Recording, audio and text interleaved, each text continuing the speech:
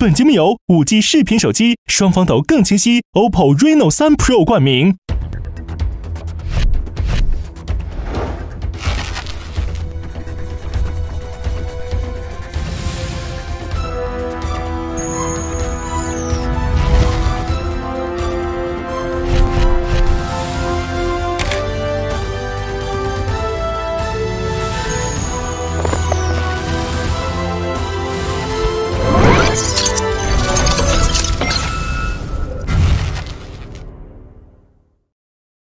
案情高能到手抖，稳定拍摄靠 Reno。本节目由五 G 视频手机 OPPO Reno 3 Pro 独家冠名播出。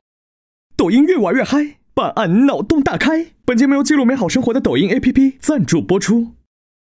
奥利奥探案路上，黑白通吃。本节目由好吃好玩在一起的奥利奥赞助播出。关注芒果好物或明真专属产品。本节目一共六位明星玩家，在每期设置的游戏剧情中，分别有侦探、嫌疑人、真凶三种身份。真凶隐藏在嫌疑人之中，只有真凶可以说谎，只有找到真凶，玩家才获胜。游戏设置侦探酬金，每期抽取角色卡时，每位玩家将获得一根金条。如果真凶逃脱，则真凶获胜，其余玩家将所有金条交给真凶。如果抓住真凶，则投票正确的玩家保留金条。侦探若两次都投对，则可额外获得一根金条，其余玩家需归还金条。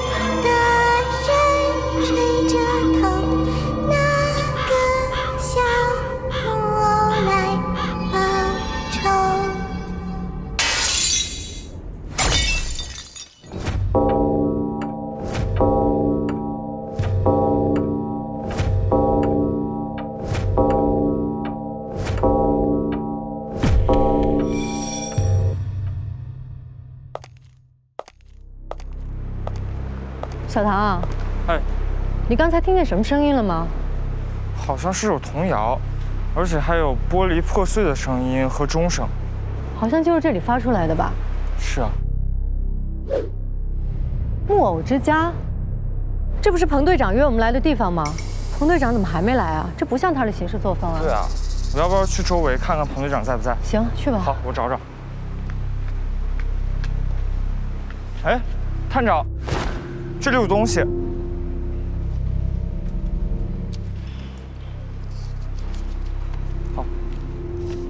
欧探长，我临时接到了别的任务，调查木偶之家的事只能交给你了。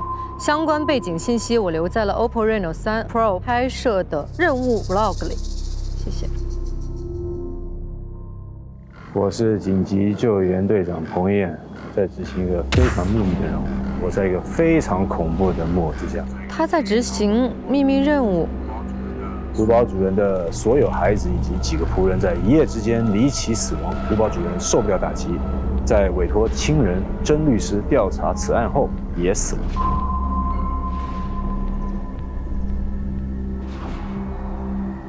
但是万万没有想到，无人生还的古堡里竟然还有白影飘过，时常唱起那首恐怖童谣。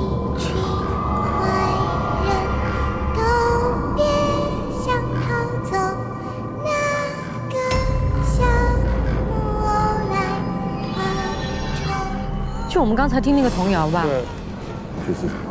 这一切太过诡异了。哦，这确实太诡异了。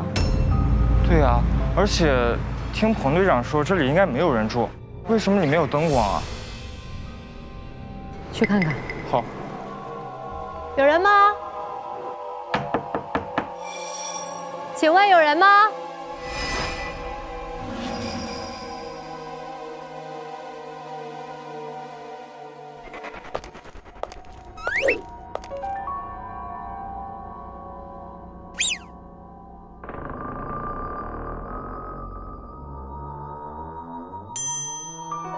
你好。Good evening madam. What can i do for you? 哦这居然有人？初次见面为什么要这样侮辱我呢？什么叫这居然有人？难不成我是个什么东西吗？哦不不不，我想先确认一下你是人，？A living man，我是个活人。首先我先跟你介绍一下，我是欧探长，这是我的助理小唐。请问这位活人，请问这位活人可否让我们进去？还有其他正常的人吗？有人吗？有人吗如果你非要进来，好，我今天就破例，让您进来吧，小唐，省得您有什么疑问，撒管家到时候说我待客不周。撒管家，哦，你来的正好，还有一个人，这里来了两个不速之客，要找这里的佣人，来跟他谈吧。佣人。对啊，不好意思，我家的管家有的时候说话总是这样语无哦，搞伦次反了？吧？住哪儿？我是欧探长，这是我的助理小唐。助理，我们是接到了彭队长的讯息，让我们过来。他跟我说的是这个古堡里面是没有人的。请问，请问，Sorry，我只是实在忍不住想。请问你是？啊，是这样，我来给你郑重介绍一下，我是这个古堡暂时的主人，我叫甄律师。甄律师？然后这个古堡原来的主人呢是我的远房表亲甄公爵，但是他死了之后呢，这里荒废了很久。我也是最近才打算重修这个古堡，至于他，是我的萨管家。我请问，刚才你们有没有听到其他的声音？我也有听到一个玻璃破碎的声音，好像是从这个房间传出来的。你们也听到了，对不对？是这个房间传出来的吗？是的。这房间门锁上了，不是出什么事儿了吧？里面，对啊，以我侦探的直觉，我觉得肯定出事了。小唐别破门，别动！我作为管家，我我来开。小唐破门，我破门。我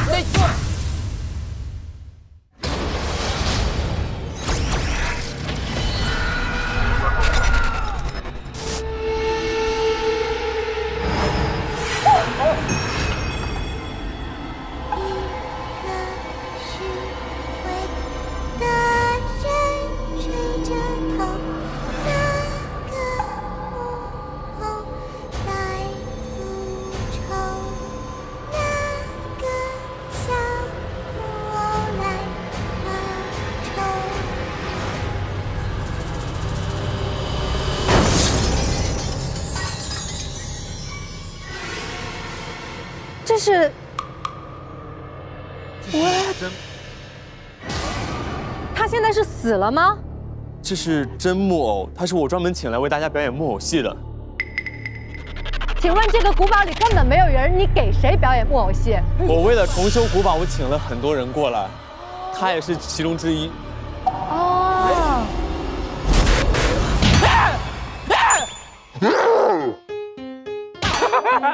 哎 妈呀！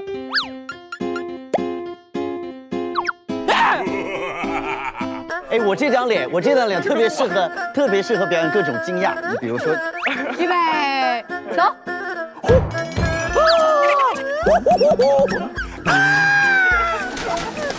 戏好多，今天好，可以了，可以了，可以啊，了。行了吗？哇，天哪！我们尊重一下死者，OK？欧探长先介绍一下，这位是何小丑。这也是你请来的吗？是的，因为这里的气质很阴郁，我专门找了一个带来快乐的何小丑。你认识他吗？他们两个是搭档，你的搭档挂了。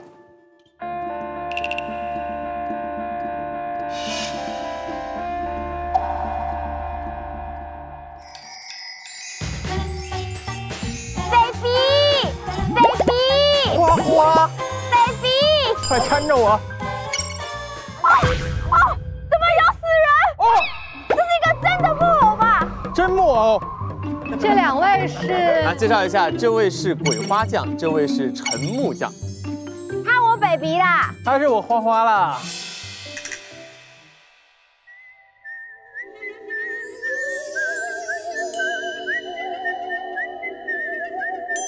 现在人到齐了，这位是假设计，也是请来重建古堡。哦，您好，你们刚刚看见了吗？哦，哦天哪！这怎么会有个死人？迄今为止最好的表演。看见什么了？我刚看见这个木偶，从我房间的窗户旁边，从右往左的飞了过去。啊我也看见了，从右到左看到了。我我看我看的不一样，我看的是从左到右。你们每个人的房间位置不同，可能看到的那个方向也不一样吧？我是从窗子的右边啊到左边。我是这样，哦，就是这个木偶，就是这个木偶，就是这个木偶。所以你们是追他追到这里来的吗？不是，不是，而且我刚刚听到了童谣的声音，你们听到了吗？有听到呃让人不愉快的音乐，但是这个音乐我很熟悉，因为这是我的表演合作伙伴，他每一次表演木偶都是用的这首曲子，叫做《木偶复仇记》。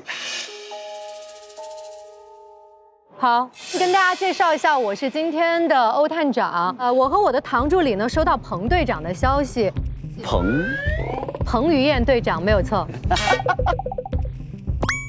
现在是 MG 一零二零年一月十日晚上的十九点。现在在这个古堡之家里面，我发现了一具很诡异的尸体。这个死者是真木偶，是一位木偶戏的表演者。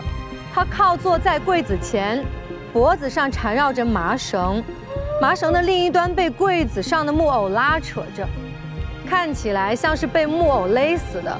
但是我作为一个无神论者，我当然不会认为是木偶勒死他的。这不是绳吗？所以我锁定了杀死他的嫌疑人就在你们几个人之中，分别就是萨管家，四十五岁；陈木匠，二十五岁；贾设计，二十三岁；鬼花匠，十九岁。何小丑，二十五岁，还有甄律师，三十七岁。现在呢，就请大家跟我们来坐下来，一起聊一聊今天案发的前后，你们都做了什么？小唐，麻烦你帮我把这个沙发搬到那个古堡外面，我们去大外面聊，大家舒服一点，好吧？欧团长是这样。我身体有点不舒服，我回去吃点药，然后我再去找你们。好，那尽快赶过来。那我们去外面。欢迎各位客人光临寒舍，我代表这间古堡。你只是个管家，我是真正的主人。啊？上管天，下管地，中间管空气，说的就是我。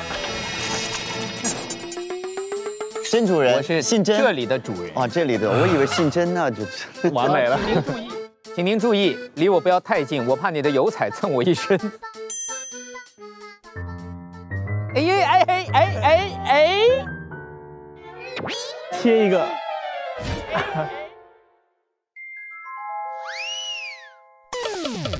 根据我的了解呢，这个古堡是一个废弃的古堡。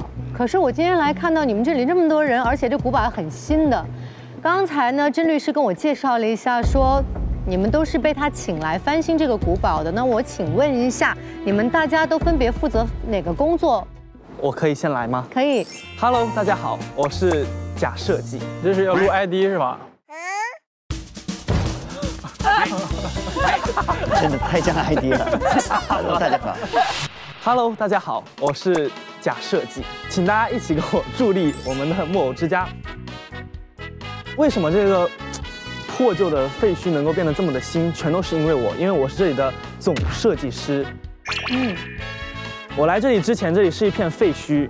我来这大概三个月了，因为我设计的功底啊非常的厉害，所以就在我的双手之下，这个已经变成了非常的豪华的一个地方。来，管家。Hello，大家好，我是萨管家，让我们一起助力木偶之家，为木偶插上腾飞的翅膀。我们三个月前，大家因为缘分聚集了在这里。啥缘分？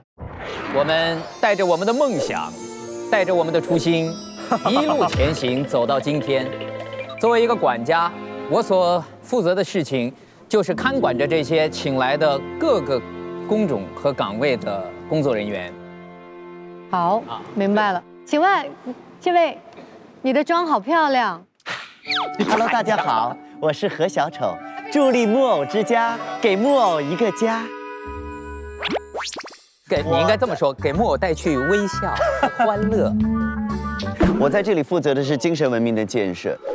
九天之前，我被请来和真墨一起来为这里的建筑工人、装修工人来进行一些表演，让他们可以更愉快的、更有干劲的工作。他说的都对，除了有一个字，他不是负责精神文明，他是负责神经文明。然后，所以我在这里每天的工作就是通过我精湛的表演，来为大家带去快乐。不知道各位有没有兴趣看一下我练了很久的彩环？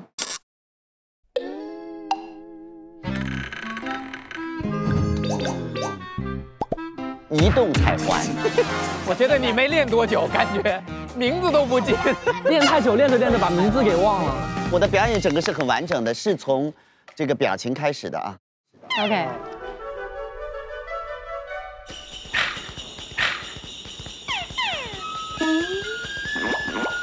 他为什么要张着胯走路呢？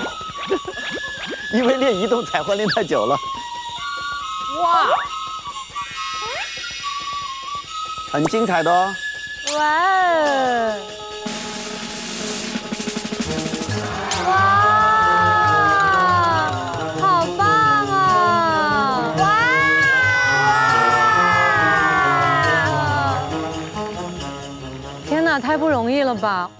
哦，我我想跟侦探说一下，我和真木耳，真木耳，真木耳，真木耳，真木耳，我想跟侦探说一下我和真木偶的关系。虽然我们一起工作，但我与他不熟。可是我和他，请记住这三个字，有渊源。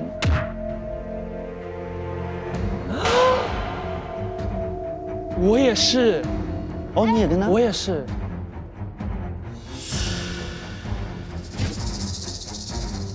请问这位管天管地的萨管家，他们都跟这个真木偶有渊源，请问你呢？呃，有一些故事。哦，他们俩有故事。接下来这位小红帽小姑娘，Hello，大家好，我是鬼花匠。这个古堡的发源都是我负责的，这些花花草草呢都是我种的。那请问你跟这个真木偶有什么故事吗？嗯，我跟他不熟，但有三个字你要仔细听清楚，我跟他有渊源。都有渊源。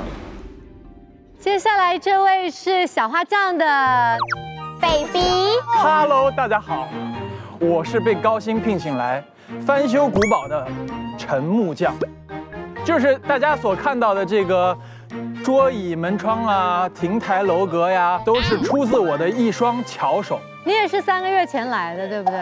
对，我也是，我也是。你们都是三个月前 no，来我九天。只有你一个人是九天。真木偶跟我一样，都是九天之前来的。他表演他的木偶戏，我表演我的移动彩环。啊，请问这个陈木匠，你跟死者有渊源吗？就他就是给我们表演节目的，我们俩并不熟。那这个恐怖童谣响起来到我们发现尸体，你们每个人之前都做了什么？今天有没有见过这个真木偶？首先，我们就今天早上的时候，我们一起观看了我们真木耳跟何小丑的表演，我们一起看的。每天都会看。你们每天表演的时间，八点。这个八好标准。我应该用眉毛来表达。八点到八点半。七点。八点半。十点。八点到八点半是你每天固定表演时间。对对对对是的对今天早上你们都看了，我们都看了。然后因为我是这里的总技师嘛，我就要管每一个人，然后我就去监工了。五点半我就回房间了，我就再也没出来过了，就一直等到了探长你的出现。哦，好，下一个。早晨八点，我也和大家一块儿去看了真木偶和何小丑他们的表演。八点半散伙以后呢，我作为管家，我就开始在整个古堡里巡视，就是完成自己的各项工作，一直忙到下午五点半下班，我就回到了自己的房间，然后在自己的房间闭门休养，一直到听到《木偶复仇记》的歌声。好，那接下来和小丑，今天早上八点到八点半，我和真木偶进行了一场精彩的表演。在一个美好的早晨，用一场美好的演出来开启一天美好的心情。演出完了之后，我被观众们围得里三层外三层。我跟他们说，醒醒我是一个艺术家，醒醒不要接机，不要送花，醒醒拒绝私生饭，醒醒不要。好，我就回到了我的房间。对，因为明天就是竣工仪式了。哦，明天是竣工仪式。对于是我就在房间琢磨我明天在竣工仪式上的表演，饶了我吧。从早上八点半一直到晚上七点。是的，你没有听错，一整天，艺术家就是可以这样不眠不休、不吃不喝钻研艺术。Sorry，情不自禁。好，接下来我的时间早上跟他们一样，八点到八点半看表演，然后看完了我就回我的花房去弄花花草草，然后弄完了呢，十点半我有去找过真木偶聊了一点私事，然后就离开了。私事对，私事。不能告诉我们的现在还不能说。不能告诉你的 BB 吗？完了，天哪，绿了绿了，换个帽子换个帽子吧。有点不祥的预感。麻将，你在哪里找他的？去他的房间。去他的房间，对，你有告诉过我吗？征求过我的意见吗？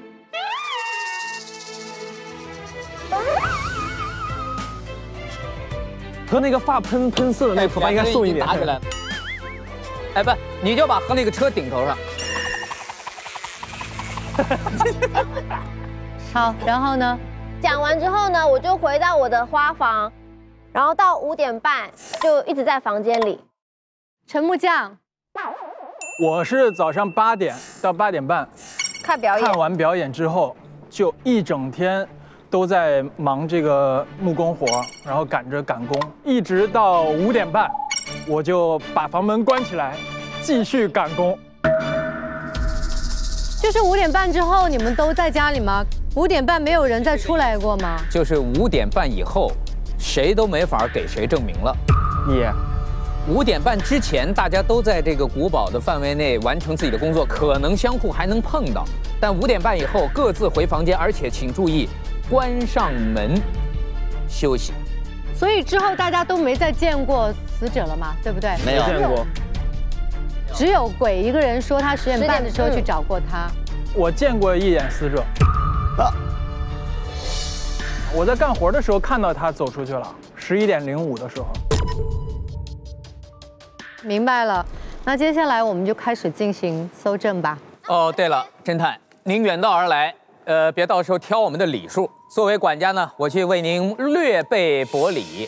我先要回去把我的道具放放好。我刚刚跟你说天气比较冷，我的花得回去再帮你养好。我手里还有一些木工活，我要回去干一下。我得回去画一画总设计图了。都走了。这些人都非常的诡异，太奇怪了吧？对啊，一会儿要仔细查。好，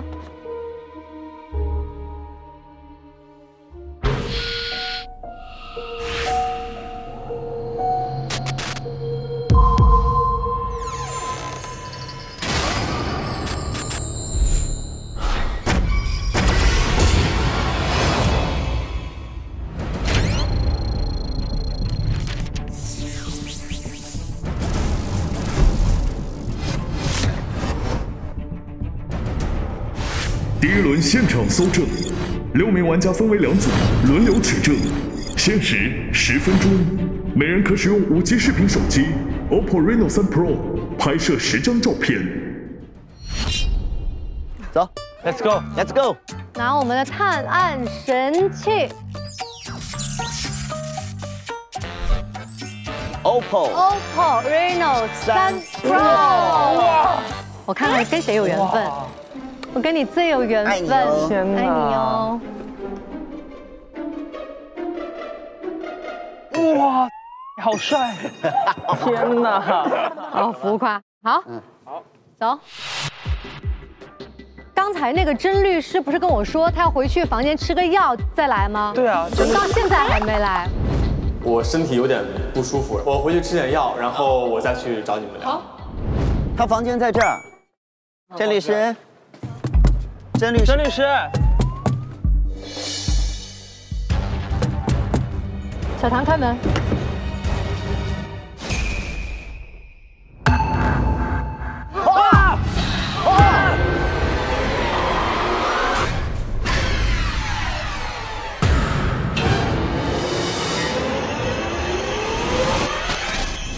天啊！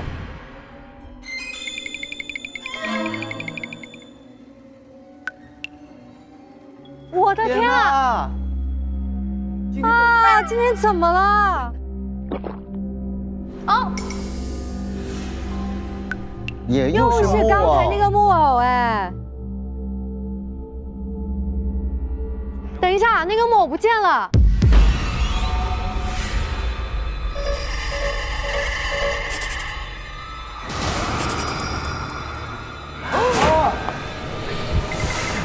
好刺激！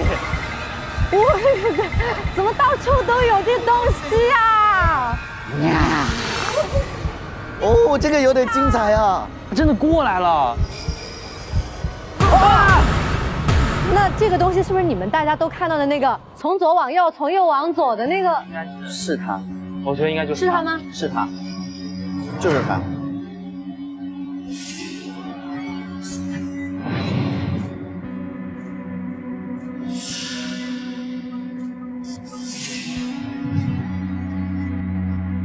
不是他这样是吊不死的，他一定对呀他是把尸体挂起来，他对不起哦，他这里已经掉了，嗯，啊，有红印，对对对，没错他。可能是先把它用对对对对那就是先勒死，然后再吊起吊起来来，对伪装伪装成一个这样的。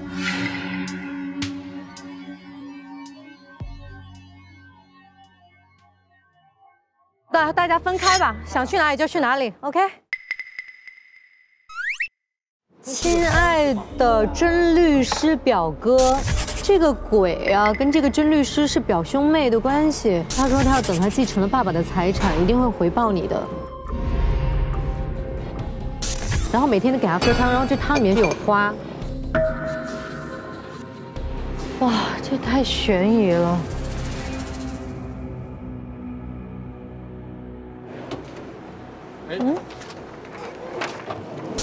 M 镇头条木偶之家惨案始末。一月十日，木偶之家发生了灭门惨案，真公爵的夫人、孩子和仆人就因为毒牛奶身亡。先给他拍下来。哎，那个柜子上面还有个箱子，哦，是密码锁吗？是的。寄出时间和送达时间，四个字母应该是。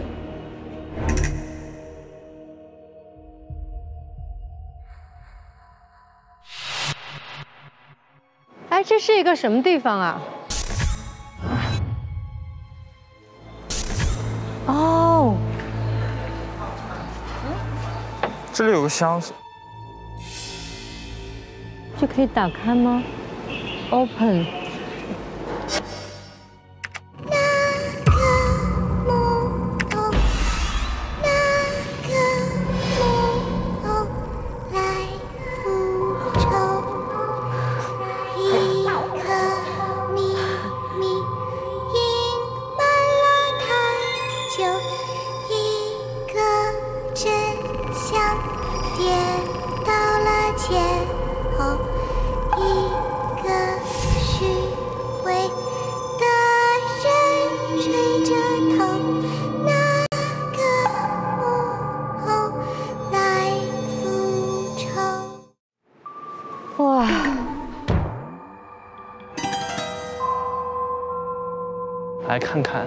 木匠吧。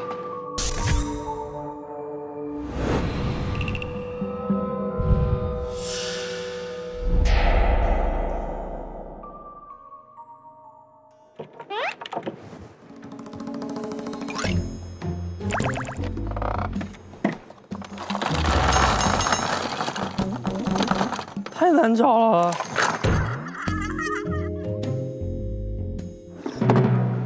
千万别按，千万别按。一般遇到这种东西，应该就得按一下。但是什么东西呢？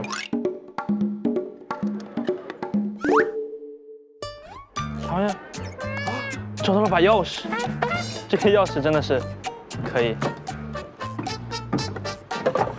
哦，找到了，就是你，木箱子。嘿嘿嘿，还是比较顺利的哈。金戒指，木偶之家的金戒指。臣，通过你的信物，我已经完全确信了你的身份。几天后，我将会把继承人的身份公布于众。啊！天哪！这个戒指已经戴上了。抖音记录美好生活。哇！我找到了，陈酱酱。我想你一直很忙，所以你只看前面三个字就好了。天哪，前半生到处流浪，后半生为你煲汤，事业线和爱情线都是你的名字拼成的，好土味，受不了。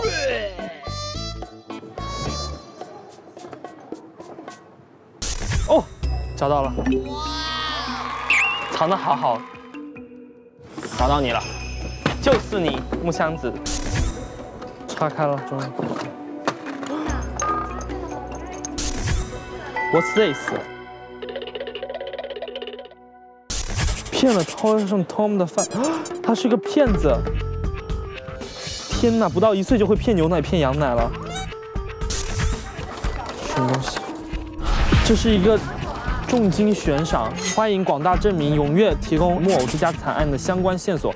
凡提供有价值线索的人士，本律师将给予一千芒果币的众筹。哇塞，这他就是个骗子。这个真木偶的房间，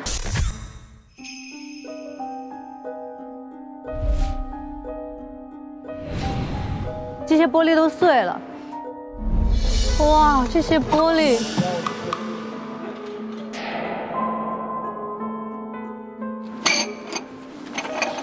哇，什么东西？看着你看。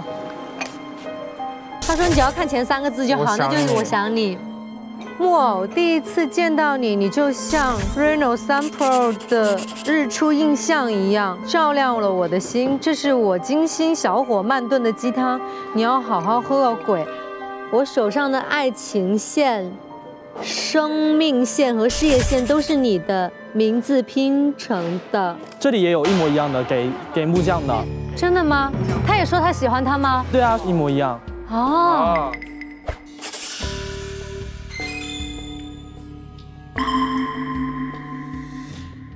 我去一个让人愉快的地方，我去鬼发酱的这里，鬼发发，我来了。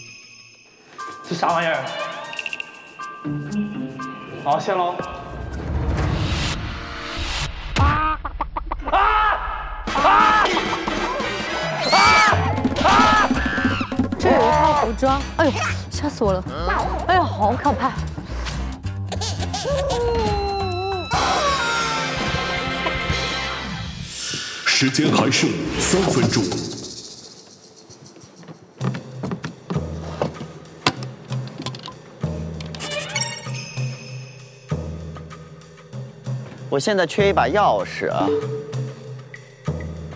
哇，这里面找钥匙可就难找喽。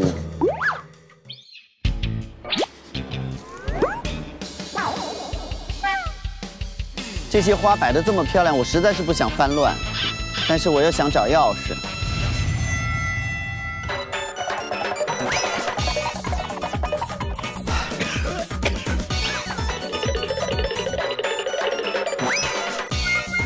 哇，翻遍了啥都没有。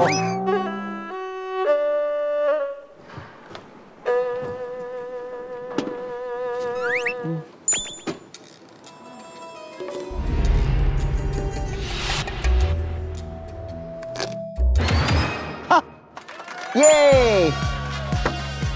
哎呀，这要是能找着，说明我是真的棒棒。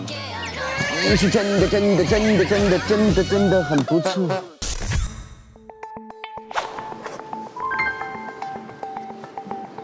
他这个里面怎么这么多男人的衣服啊？奇怪。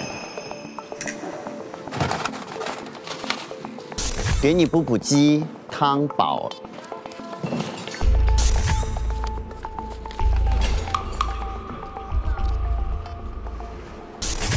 用了一个花儿做毒。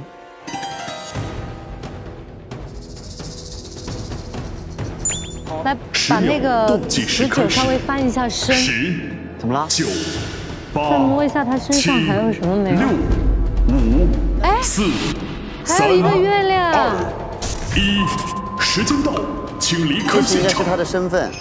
走吧。呃，有一句话你们听过吗？案情高能到手抖，稳定拍摄靠 Reno Reno，没错。开门。说的就是双防抖。五 G 视频手机，OPPO Reno 3 Pro 五 G 还真没用过。超级防抖。你拍我们因为这个怎么样防？我们一直动也是防抖吗？来，预备好，谁拍你们？走，快，怎么这样呢？现场。你是你是有神论者吗？我是无神论者。走吧。哎，对了，刚才那个甄律师说他身体不舒服回房间，到现在也也没看见他人。他说他吃药，他说他吃药他去吃药去了。他不知道怎么了，甄律师，锁住了。那怎么开啊？踹踹门骑吗？我试一下啊，这得用几几成力啊？好，我知道了，呵心里有数了。几成力？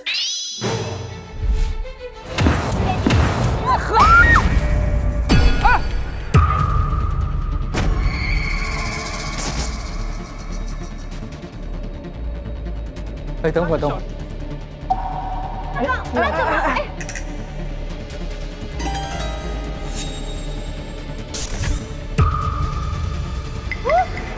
怎么跑到这里了？他刚刚在上面。木偶从那边换到了这边。为什么是一男一女？是他，是他，就是他。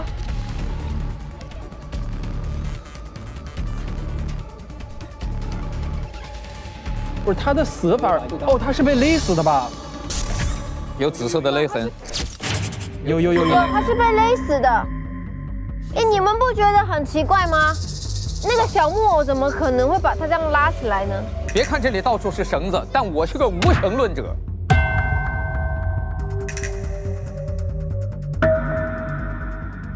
来，开始搜证吧，别浪费时间了，快快快！我们先尊重一下先死的人，好吧？有个先来后到，行不行？啊，好好好，走。分主次嘛，先先调调先先死的人。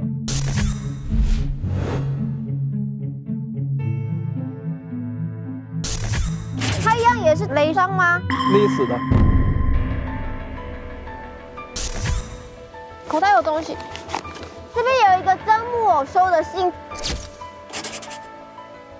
木偶之家古堡大门外的信箱。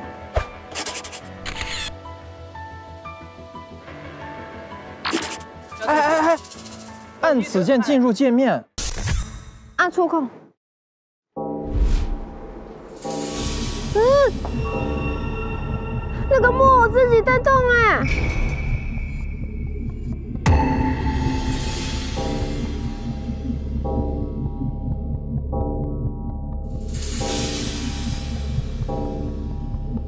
嗯，是他。哇，所以这太吓人了吧！啊，好可怕哦。这这这箱子能不能打开？没有，要找钥匙。这是你擅长的吧？对，发发。哎，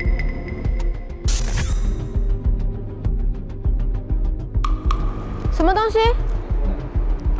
一喷即晕。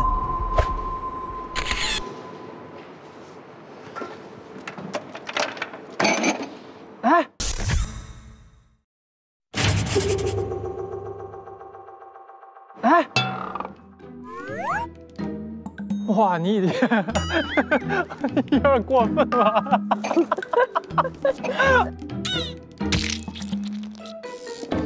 不要想太多，没管家，啊，你有每天喝鸡汤的习惯吗？你不用怀疑我，我跟你的花花之间不用鸡汤沟通。你有没有对我做什么不好的事情？你才有没有对我做什么不好的事嘞？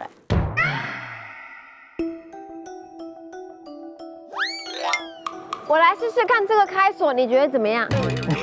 你现在都都已经到这个地步了吗？就不用钥匙都能开了是吧？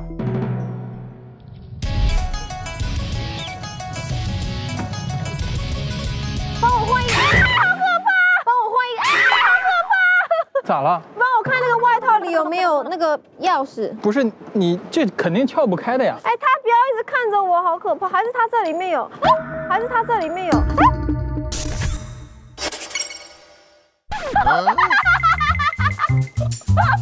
你看，他看着你是有道理的，他在提醒你，他一直在提示你。吓死我！看着我，看着我，好可怕！快开快开！哎呦，怎么那么钥匙会被我找到？木偶复仇记，一个木偶变成小朋友，一眨眼看见了杀手，一杯毒药还没喝一口，是谁做坏事又逃走？哎，你为什么唱的这么熟啊？我是个歌手，你不是花匠吗？你不是个发云吗？你是个汤手。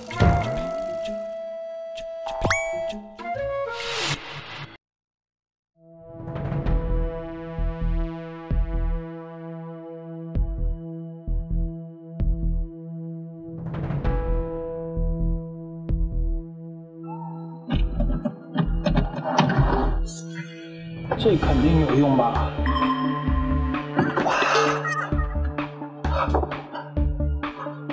这是什么啊？这是？尊敬的甄律师您好，我是山东鸡哥的儿子。啊，山东鸡哥的儿子，都是一样的吧？这信，一零一五年，一零零五年，就是他写了这么多年。我的房间。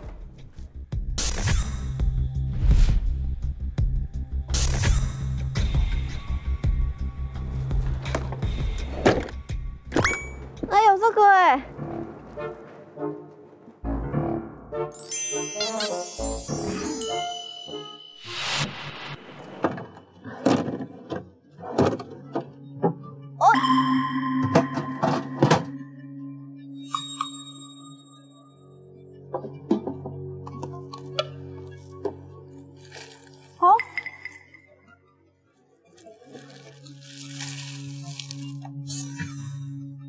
哦，这是谁啊？谢谢你。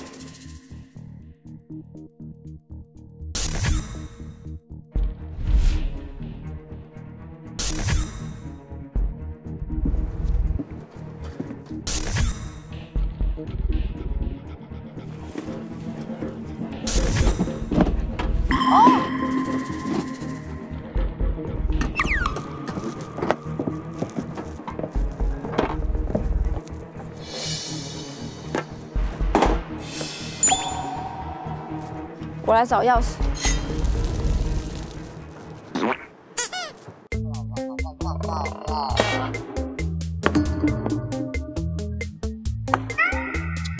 哎呀，安静一点，不要影响人家搜证嘛。我在找钥匙。找钥匙，你把气球都弄爆干嘛呀？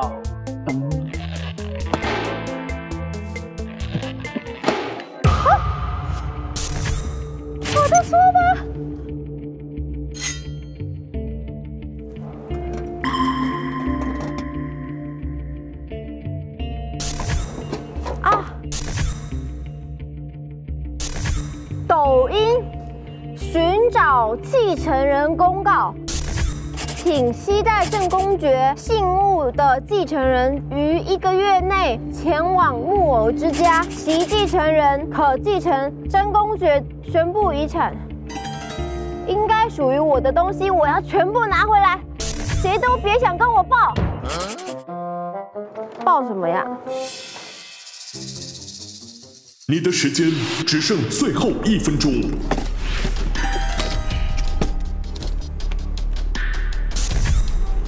地毯这一块为什么是湿的？绳子也是湿的。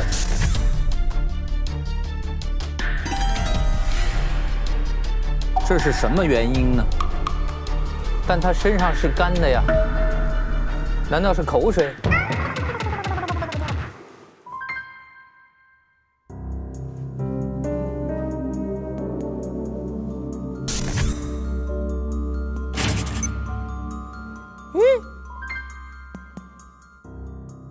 钥匙，哪里？快过来，同志们！这个钥匙我从死者身上找到的，应该是这个。这个打开了，是什么？哦，真律师收。呃，拍下来，拍下来，现在没时间念了。这是我爸爸。这有个徽章是什么？木偶之家。亲爱的奥利奥，这还有一个钥匙是开什么的？哪里？他身上拴着两个钥匙，还有哪里需要有钥匙？你看还有盒子。哎，这里啊。哪儿？哎，被撬开了，是不是这个？你试一下看。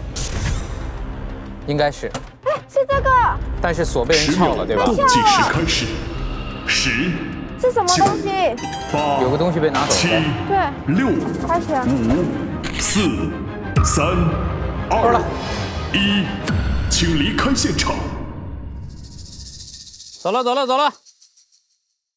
五 G 视频手机 OPPO Reno 3 Pro 记录清晰时刻，第一次集中推理，根据收集到的线索完成推理。今天的案情非常的特别，跟一桩十五年前的凶杀案有关系。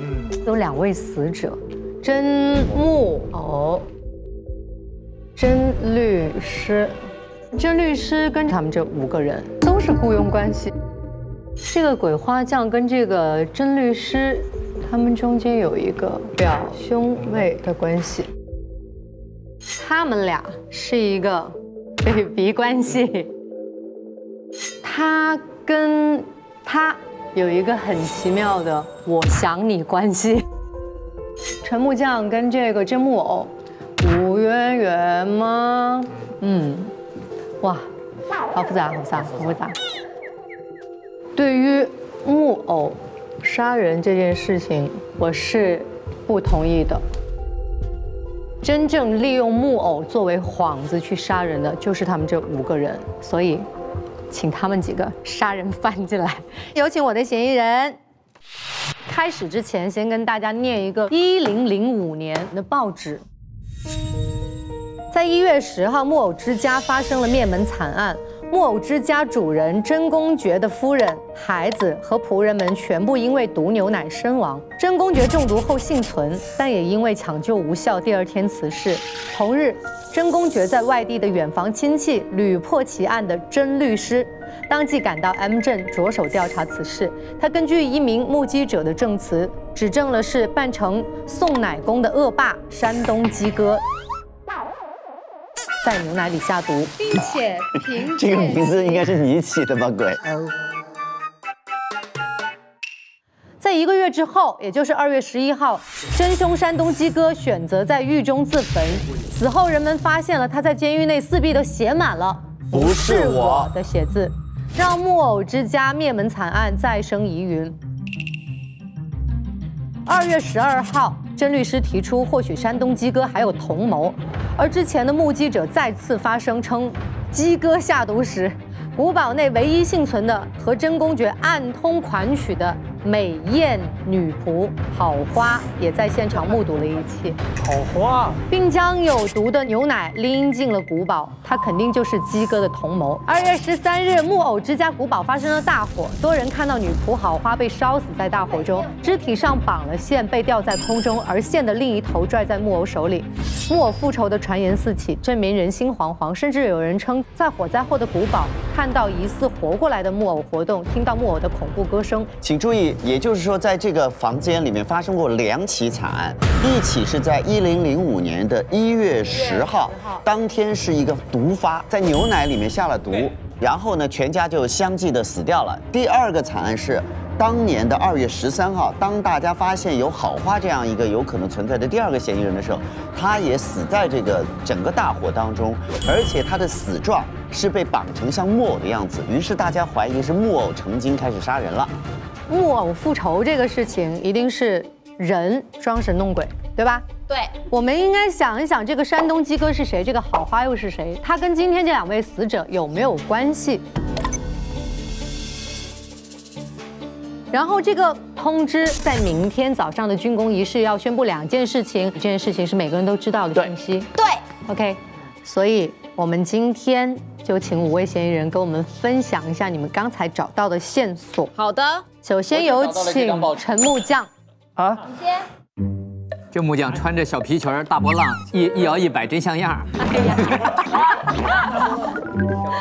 首先呢，我想要跟大家分享一个这个设计啊。既然已经说到设计嘛，肯定是在假设计的房间找到的。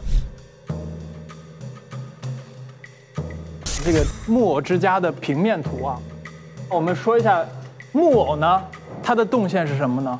它从这儿这样绕一圈儿，这样经过我们每个人的房间，然后正好这个动线就是我们大家跟鬼看的是相反的，因为鬼在对面。对，最后是从这个窗子听到咣咣的玻璃一声，然后我们就听到了七声的钟响。对，我在这个尸体的对面发现了一个摄像机，嗯，里面有个 vlog。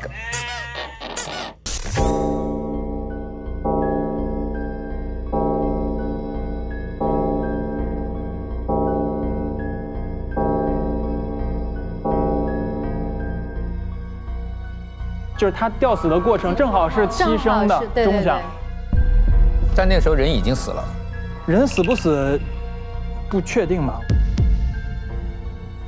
人死不死，爱死不死，假死逼死你死，没假死逼死你死。在这个死者的房间里发现了一喷即晕的这个药水，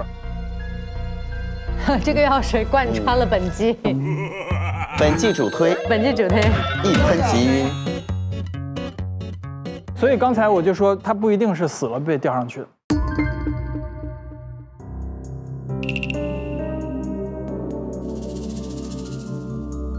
凶手他想给我们制造一个假象，就是木偶复仇的假象。也就是说，附近有人在操控木偶，这个木偶在操控这个绳，好像是在勒这个尸体。对，但是我发现这一切这个实施起来是有一定难度的。第一个难度是我们每一个人都只看到了木偶，但是没有看到凶手拿着木偶。那他是怎么样做到可以让我们看到木偶，但是看不到他本人的呢？然后还有第二个难点，就是我在他的设计图旁边看到一个备注：木偶之家古堡需严格按照原有基础重建。重建有两个点，第一点是受承重要求，甄律师为古堡内唯一有房梁的房间，房梁需加固，其余房间无房梁与任何挑高设计。没错。然后第二个是，除甄律师的房间之外，木偶之家的古堡内其余房间墙壁均刷成白色。白色就是我觉得有一有一个点，就是我们看那个 vlog 的时候，他死的那个房间是白色的房间。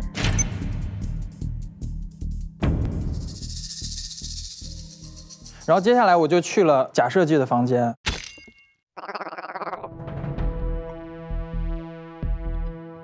从一个小盒里发现了他小时候画的一张画，还有他的一个项链。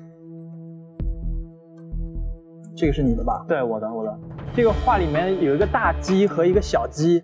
哦，大鸡呢戴着墨镜，然后留着一脸络腮胡子，然后呢有六块腹肌。哎，如果我没有猜错的话，他应该就是这个山东鸡哥，对不对？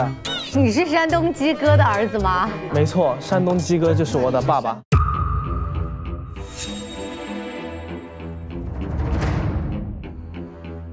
那你是山东小鸡？我是山，对我的确是山东小鸡。他是你的鸡爸爸？他是我的鸡爸爸。最早的时候呢，我们家住在鸡镇，然后我爸爸就是江湖人称山东鸡哥。然后那时候传言是这么传的：别跟我鸡哥硬碰硬，不然鸡哥受的是伤，你丢的是命。哇哦，就是这么狠的一个人，对，然后恶霸，不，他不是恶霸，他对我就非常的温柔。我爸在我眼里是一个非常有正义感的人，因为他小时候他从来不做坏事，他就教导我要做好人，然后经常去帮一些需要帮助的人。好，对，OK。请问你有兄弟姐妹吗？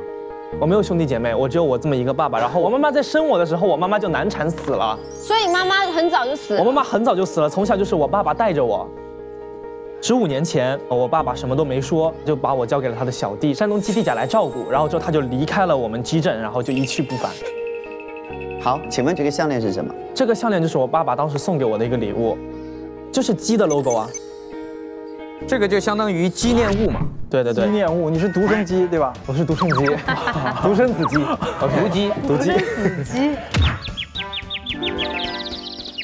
我爸他虽然是个狠狠的人，但他从来不干一些杀人的那些勾当，真的是个好人。反正好，我觉得他真的有可能是被冤枉的，因为他自己后来在监狱的墙上写满了“不是我，不是我，不是我，对，我相信我请注意，他之所以被认定为是这个木偶之家灭门惨案的凶手，是因为巧舌如簧的甄律师。甄律师给他当庭定的罪。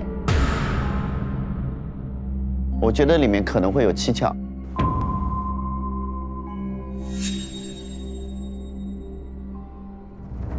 然后呢，我又在他的另外一个小盒子里发现了一沓装在信封里的信。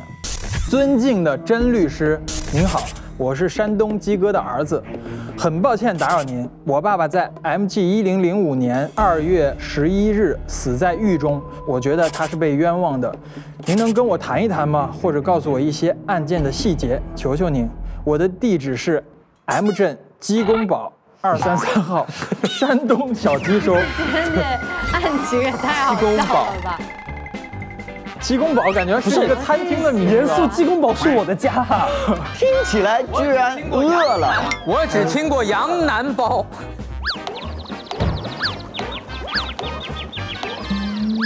这个信的起始的时间是一零零五年五月。哎，他刚才第一封信说他爸爸是一零零五年在狱中死掉的。对，二月十一日。然后呢，每年写一个，一直写到一零一九年，那就说明去年啊，山东小鸡呢，他是一个很执着的孩子。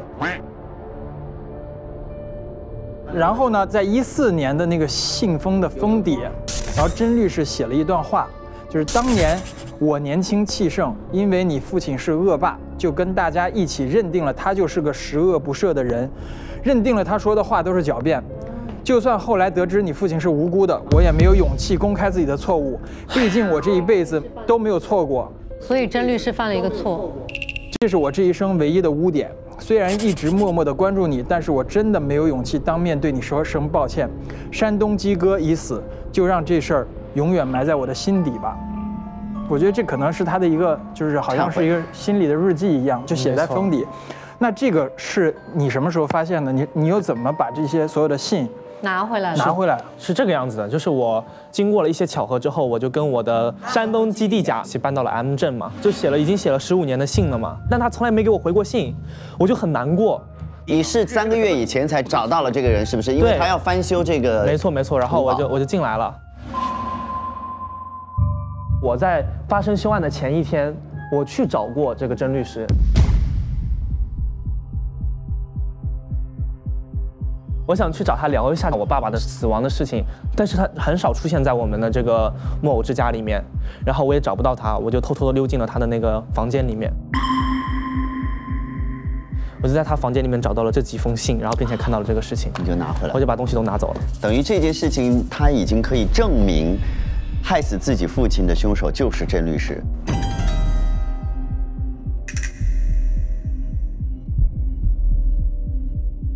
但是甄木偶又是跟他什么关系呢？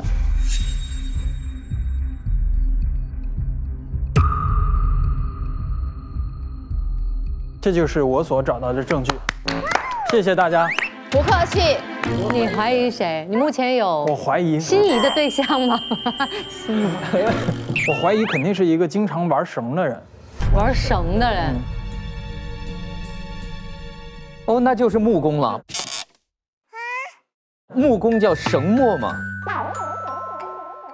绳墨是木工的两件镇行之宝，因为木工要想弄直它的线，一个是绳，一个是墨，一弹。我那小绳不是那个绳，你那小绳可以绑手腕啊。能投票了，对吧？也是什么？木匠讲了一个线索之后，引向了自己。但真的不是我，我是一个斯文人，你可以看得出来，对吧？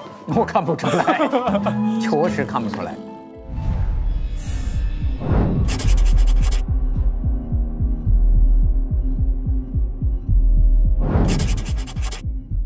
来，这位同学，下一个该你吧。我呢，一如既往，还是去的现场。但是今天你干嘛？给个状帮你当音效音效一直在配合你，也就只有他肯配合你了，你还不珍惜？好好珍惜吧。去了现场，我也可以配合你。但是因为今天呢实在麻烦，他有两个现场，对，死了两个人，所以现在好了，够了，OK。群口相声现在是。死了两个人，您看这巧了没？哎，哪有这么开心的事儿啊？得了吧，得嘞，一下走俩，死不死？这下我们好过年了，死一送一，古堡少了两双筷子，好过年。哎，我天，赶紧的，赶紧的，快快快，愁死我了这。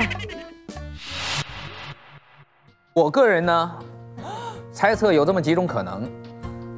第一，真木偶是被甄律师干掉的，甄律师是被我们当中某一个人干掉，所以我们今天要找的是一个凶手，但是他只杀了甄律师。第二，甄律师和甄木偶是同一个凶手干掉的，所以今天我们要找的就是这个人，他先杀了甄木偶，后来又杀了甄律师。第三，甄律师和甄木偶是两个凶手干掉的。那个是这样啊，这个案子呢，我先不破啊，了。别别别这样，别这样，别这样，别这样。那就我们先走了。知难而退。请各位帮我分析，为什么这个木偶要故弄玄虚的在案发之前或者在案发当时跑一圈，让我们所有人看因为这是木？偶之家，因为要木偶复仇。请这位同学回答。报告侦探有两种可能，一种可能是复仇，嗯，就当年是这样的一个情况，导致他的亲人离开，所以他要以其人之道还治其人之身。另外一个叫甩锅，因为在整个木偶之家一直以来都有木偶成精杀人的这个传言，所以呢，他希望用这种传言来掩盖他是真正凶手的真相，让大家以为是木偶成精继续杀人了。嗯对，请给我打分。十分、十分、五分、六分。还有一点就是大家一定注意，就是两个杀人案房门都是锁锁住的，对，都是一个唐姓的助理，踹。暴力踹门。没有，我们是由一位优秀的木匠。踹开的，是由一位优秀的木匠，两次都被踹开。这是我的一个考虑，就是两个密室的形成，嗯，两岸之间有没有关联？重点就是谁有钥匙能够进到，钥匙管家是我，投票吧，投票吧。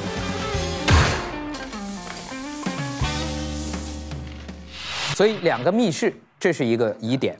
更重要的是，现场在甄律师的绳子上面有一个套儿，这个套儿是湿的，湿的。地面的地毯上有也是有水的痕迹，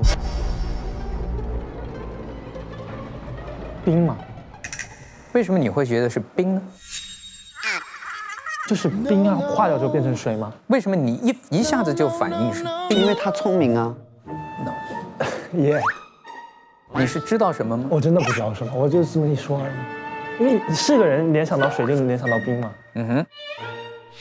凶手要跑到真木偶的房间里，把木偶拿过来，假造一个现场，然后还要把死者倒吊起来，而且他在房梁上，他用一根绳子把死者倒吊起来，这相当于是一个定滑轮。嗯，定滑轮它是只改变力的方向，不改变力的大小，也就是它至少要有这个劲儿，能把一个成年人挂起来挂起来。嗯而且挂起来之后，他还要站到高处去打结儿，他他还需要有东西，有有有梯子，有桌子，有十五分钟，十五他要做这么多事情，确实是很慌慌忙的。对。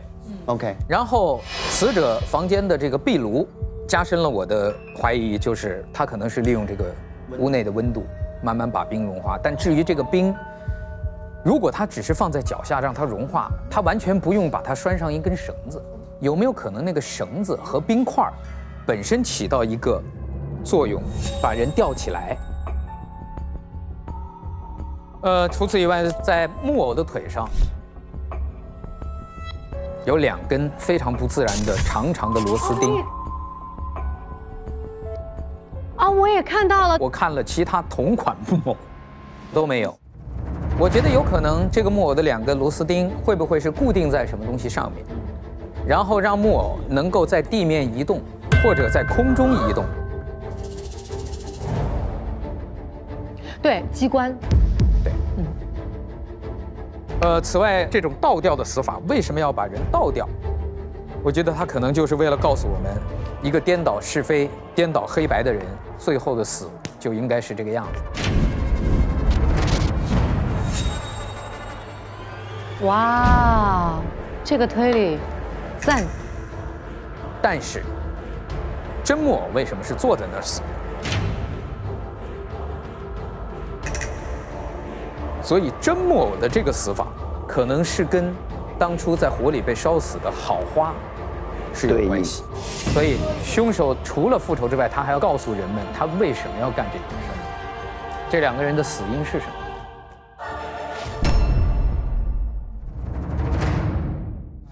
谢谢，精彩哎。说你怀疑谁？你有怀疑的对象吗？我怀疑，一个首先自己说玩绳的人，他不小心露出了一点点马脚。嗯哼，我是无神论者。另外还有一个，在我一说出绳子是湿的，我还没有说出任何怀疑，马上有人说冰块的人，有的时候聪明反被聪明误，抱得太早，也会是一个节奏的掌握问题。哎呀哈，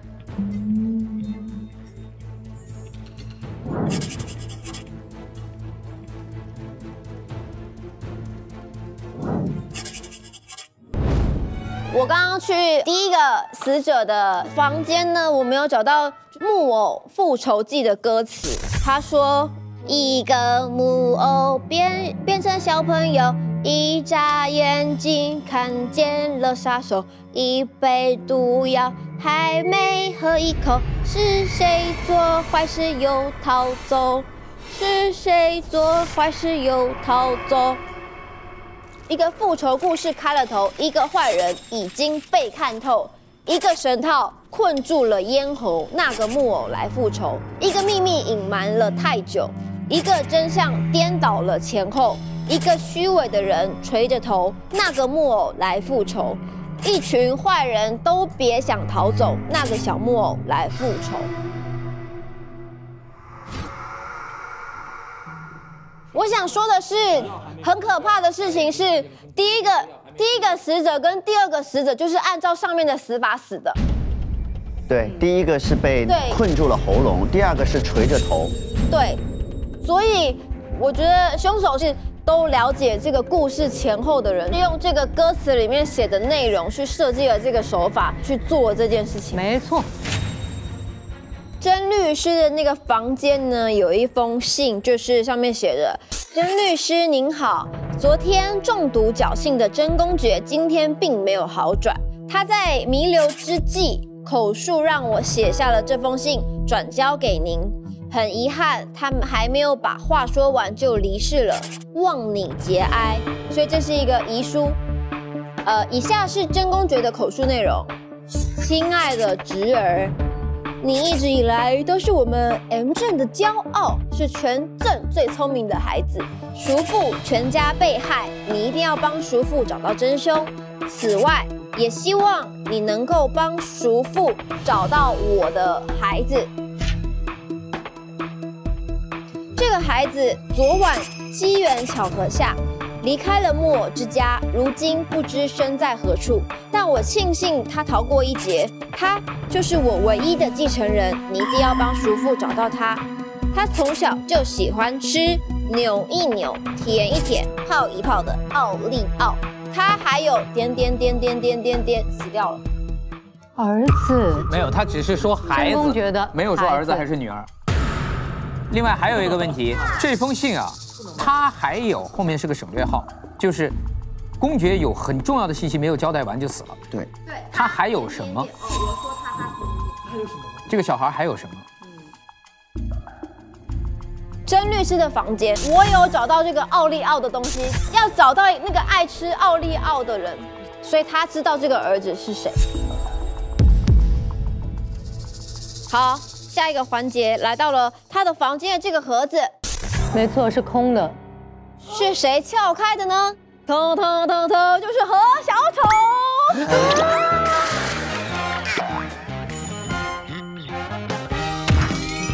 因为他有一个无所不能，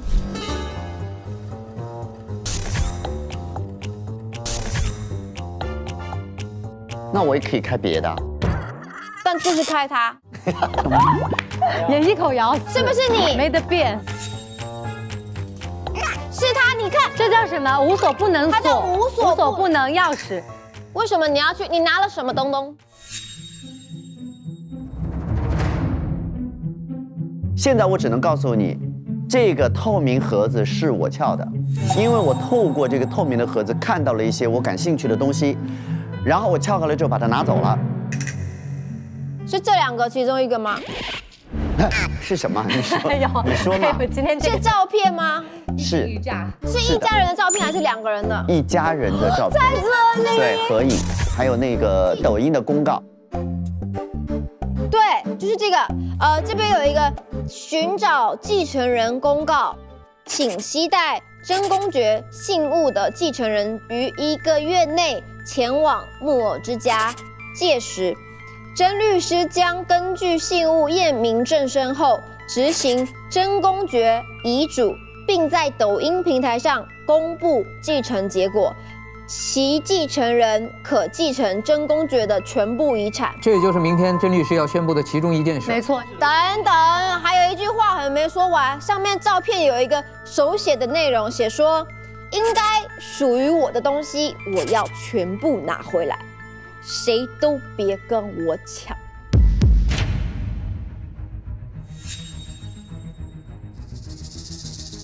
你看到的那个是真木偶写的，真木偶写的。那你拿这个干嘛呢？因为他跟我有渊源。我是在昨天，也就是一月九号的下午，去甄律师的房间，看到这个，我用无所不能的撬锁工具把锁撬开，把东西拿走的。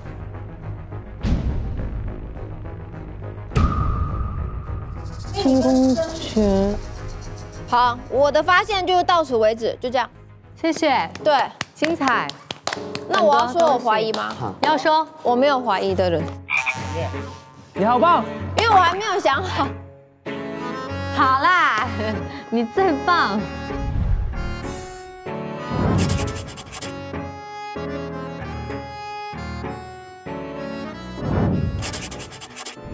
来。假假设计。假设计你们也可以叫我山东小鸡。我今天主要是去找了一下我们的陈木匠。嗯，我想听陈木匠的故事。陈木匠的故事非常的有趣，但他本人很无趣。他本人他本人看起来有很无趣的样子。他本人看起来有很无趣的样子，都是他伪装出来的。哦，这样好丰富哦。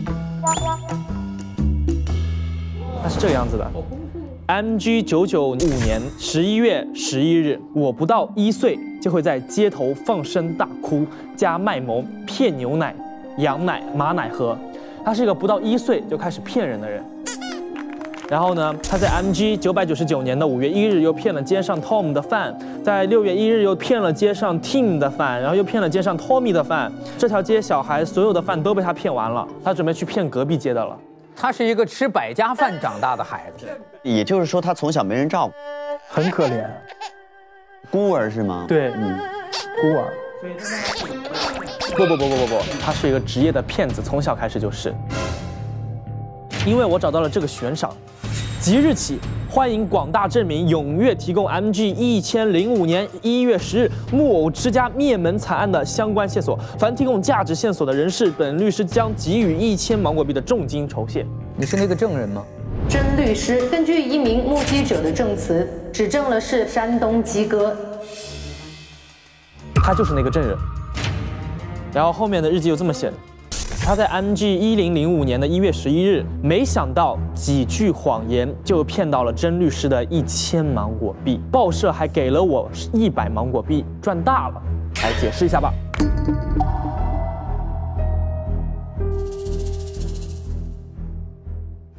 案发的那天呢，我正好就在这个木偶之家周围闲逛，因为我就想看看谁手里有饭，我就骗点饭吃。但这个时候呢？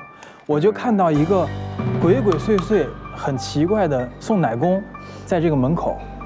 我又定眼一看呢，怎么定眼？你怎么定眼？定定定，就平时眼睛是活动的，定眼一看，哎哎，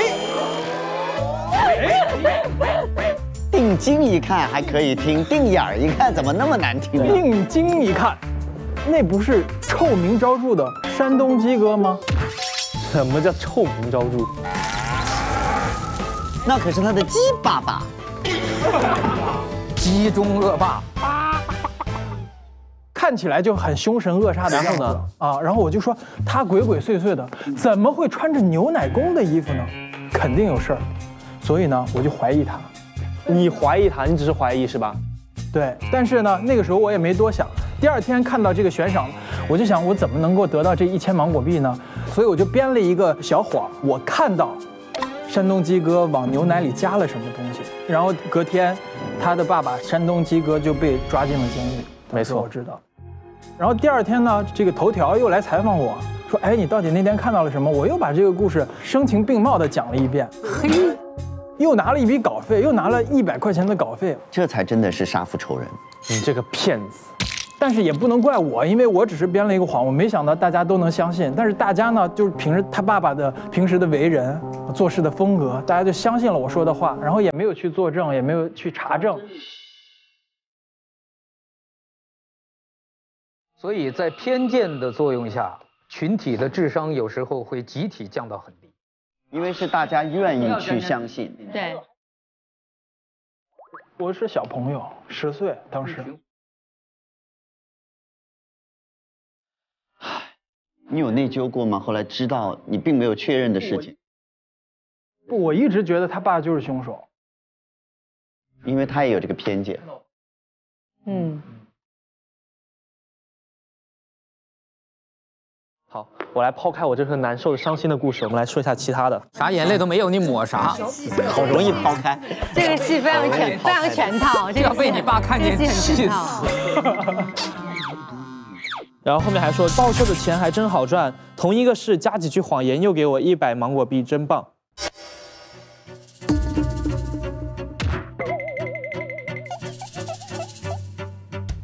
是这样的，就是当时真的我心情特别难受，因为在那个山东鸡哥入狱之后，没过多久他就自焚了。他在自焚之前呢，就在他的那个监狱的墙壁上写着“不是我，不是我”，就看起来他像是被冤枉而死的。然后呢，我就很害怕，怕大家发现我编的这个谎。但是我又仔细一想呢，哎，那天还有一个幸存者，就是那个女仆。然后我就在想，那个女仆长得那么好看，然后她又幸存了，这里面肯定有问题，对吧？这正常的逻辑吧？为什么她长得那么漂亮，她又幸存了，其他人都长得漂亮怎么了吗这？不应该幸存吗？不是长得漂亮怎么了吗？你仔细捋一捋，这个不对，逻辑，没有逻辑的啊。我仔细捋了一下，没有逻辑。我仔细捋了一下，没有理。你的意思是那个女仆和跟老爷真公爵暗通款曲也是你编的？不不光是我一个人这么认为，就是所有的人都这么认为。偏见又是个偏见。所以当时我又就是说了一个小谎，我说山东鸡哥确实他还有一个同伙，就是这个女仆。当时我看到山东鸡哥把这个不知道什么东西加在这个牛奶里头，然后把这个牛奶桶递给了女仆，然后女仆拿进了这个屋子。这整张故事都是他编的，天哪！就是我的谎言就这样一次一次屡屡得逞。好生气哦！我心里我我心里很内疚，为什么要对美丽有偏见呢？不是我对美丽有偏见，是因为我当时可能心智不太成熟，就是因为我太经常说谎话，就说着说着我自己都相信了，所以我就是说的那个感觉，我好像自己真的亲眼看到了一样。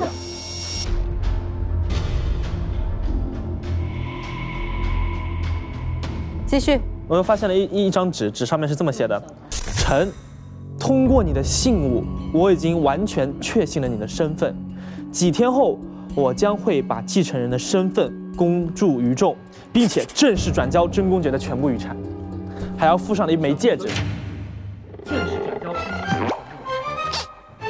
把小皮裙脱了，把小皮裙脱了。所以你也是真公爵的孩子，我是有身份的人，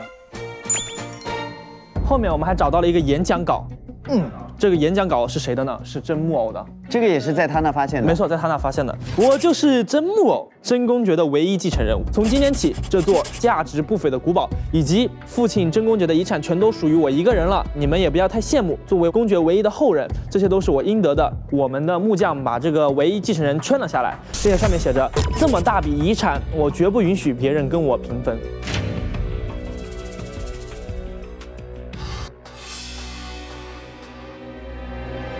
就是昨天晚上我路过花园的时候，就是隐隐约约听到甄律师跟甄木偶说，他说明天我就把你这个继承人的身份公布给大家。你看，所以甄律师是不可能同时给好几个人发这样的信，他给你也发了，说好，我已经相信你了。他给甄木偶也发了对我就听得一头雾水，所以今天我在看到那个甄木偶出去之后，律师心里是有数。我就进了他的房间，发现了这个演讲稿，拿回了房间。这里面啊，一定有人浑水摸鱼，不一定都是郑中杰的孩子。没错，所以我接下来就要讲一个更加厉害的东西了。MG 一零二零年一月一日，这笔巨款要是骗到手了，下辈子就不用愁了。下辈子上面真的写了下辈子，啊？这是我第一次看到有人为自己的来生做不对。你应该就是浑水摸鱼的吧？没错，这时候就是我又找到了另外一个证据。啊，我又找到了！哦，天哪！拾金不昧的陈小朋友，谢谢你。以后遇到困难可以拿这个戒指来找叔叔帮忙。这是真公爵写的。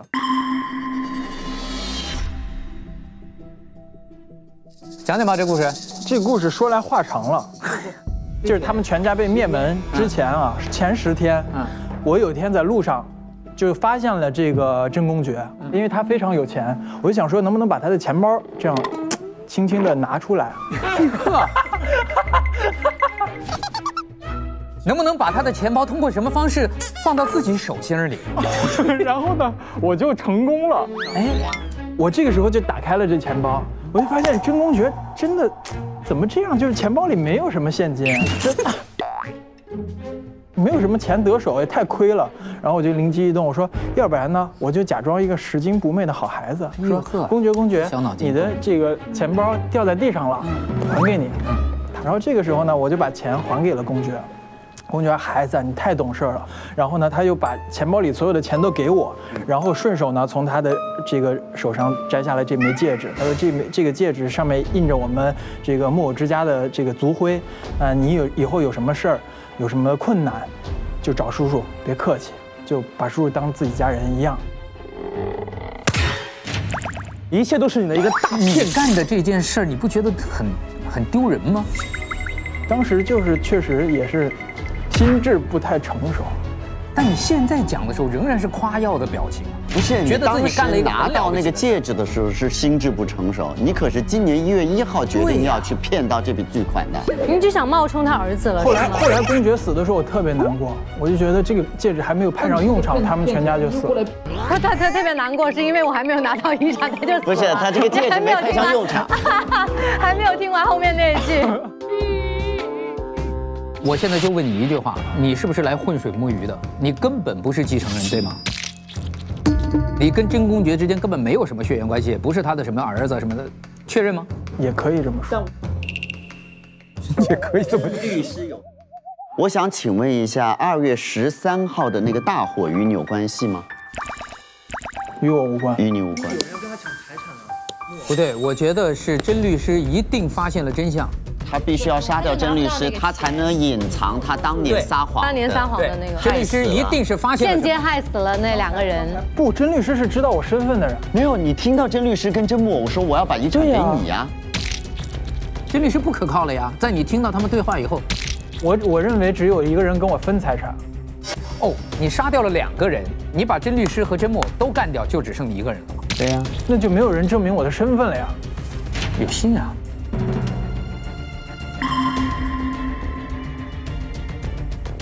看着我的眼睛，你咬我。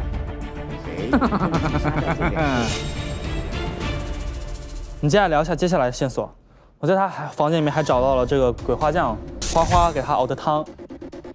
给谁熬的汤？花花给木匠熬的汤。花花给任何人花花给很多人熬汤，花花还给我们的真木偶也熬了汤，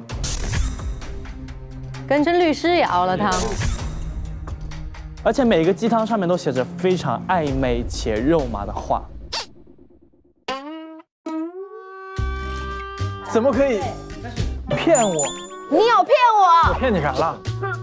你刚才自己都说了，你已经是说谎，已经说到自然到你自己不知道那是谎，我自己都信了。对，你一定骗了他。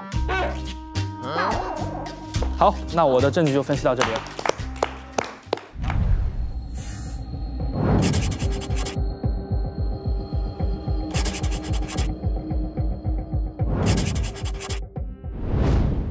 首先，我去了我们木偶之家的门口，那里有一个 DV，这个 DV 其实是一个前情提要，彭队长留给欧探长的一个纸条和一个由 OPPO Reno 3 Pro 拍摄的任务 Vlog。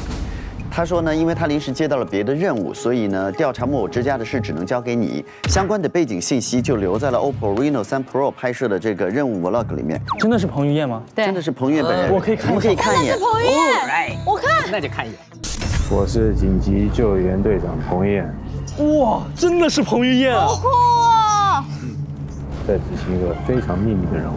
我在一个非常恐怖的木偶之家，古堡主人的所有孩子以及几个仆人在一夜之间离奇死亡。古堡主人受不了打击，在委托亲人甄律师调查此案后也死了。但是万万没有想到，无人生还的古堡里竟然还有白影飘过，时常唱起那首恐怖童谣。因为彭队长要去紧急救援，然后这部电影呢也跟大家见面了，大家多多支持啊！因为那个故事跟我们这个故事同样的精彩。好，好，漂亮。然后呢，我首先呢就去到了鬼花匠的房间。首先呢，第一个最明显、最明显的就是他的桌上有一张照片，这张照片呢拍摄的是鬼花匠与鬼养父的合影留念。嗯，所以你也是有过一个养父的人。对，因为之前有信息说你在给甄律师的这个汤上面写到你要拿到遗产什么之类，所以你是甄公爵的小孩，对吗？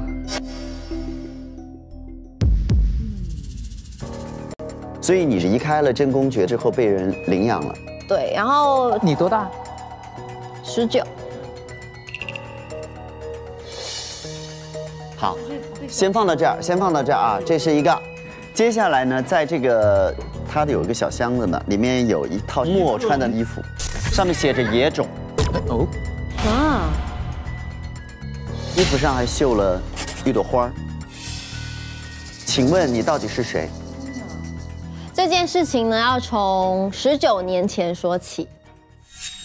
其实我是在这座古堡里面出生的，我的妈妈在这个古堡里面是当女仆，好花，那就是你们口中的好花好花。就是因为我妈妈很漂亮，然后也很温柔，所以在我三岁的时候，大家就开始对我有一些很异样的眼光，然后觉得我好像是暗通款曲的孩子。所以周围的人就用偏见给他套上了一个野种。野种的这个，所以就会在你衣服上写这些字。对，然后因为真公爵对我们一家人都很好，他会把我可能穿过的衣服给我穿，所以那是我小时候穿的衣服。那那个野种是被大家乱写骂我，我在他的房间里面找到了一个奇怪的链子，所以我刚才就在问我们山东小鸡，你这个链子上面有一个小鸡的图形，对不对？对啊很可爱的。然后这是个圆形，我找到了同款，但是不一样的是，在这个圆形的链子上有木偶之家的 logo。嗯嗯，你是用这个项链来当做你的信物，对吗？对，就是妈妈把这条项链交给我，就是这条项链，他说他可以证明我的身份。我的爸爸只要看到这个项链，他就会认得我。我现在在想的是，我们俩是什么关系？为什么你会有我们鸡家族的？这个我不知道，我只知道那个木偶。有没有可能我们？那有可能你们是兄妹，对，亲兄妹。不是吧？因为这个鸡代表山东鸡哥，你妈妈把这个项链告诉你说，这代表你的身世，就说明你的父亲是山东鸡哥，有道理然后木偶之家代表是你妈妈，对，太难听了。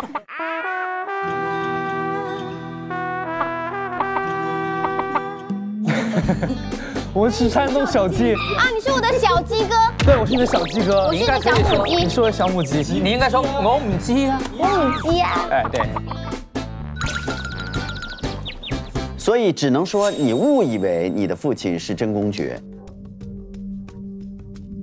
所以后来你就离开了木偶之家，对吗？对，因为你我就是妈妈不想我在这个地方一直被欺负，所以她把我呃送去给 M 镇的那个鬼养父家生活。是什么时候妈妈把你托付给养父？我十六年前三岁之后，在他的小箱子里面找到了一个 M 镇小医院的取药回执单，在一零零五年一月十号，就是发生灭门惨案的那一天的下午六点四十分，他有去取药，高烧退去散、大葵花胶囊。一月十号那天我我发了一场高烧，那所以好花根本就不在。这就证明为什么好花在当天幸免于难，就是没有喝这个牛奶。那天妈妈一直在身边照顾我，他能证明他妈妈一天都没离开过他。对，所以我刚刚很很生气的是，为什么你要说谎？你知道你说谎，你害死了我妈妈吗？妈妈被害死的时候，你在现场吗？我是到了那边，我看到了，就是刚刚火灾的时候对那个报道上面写的。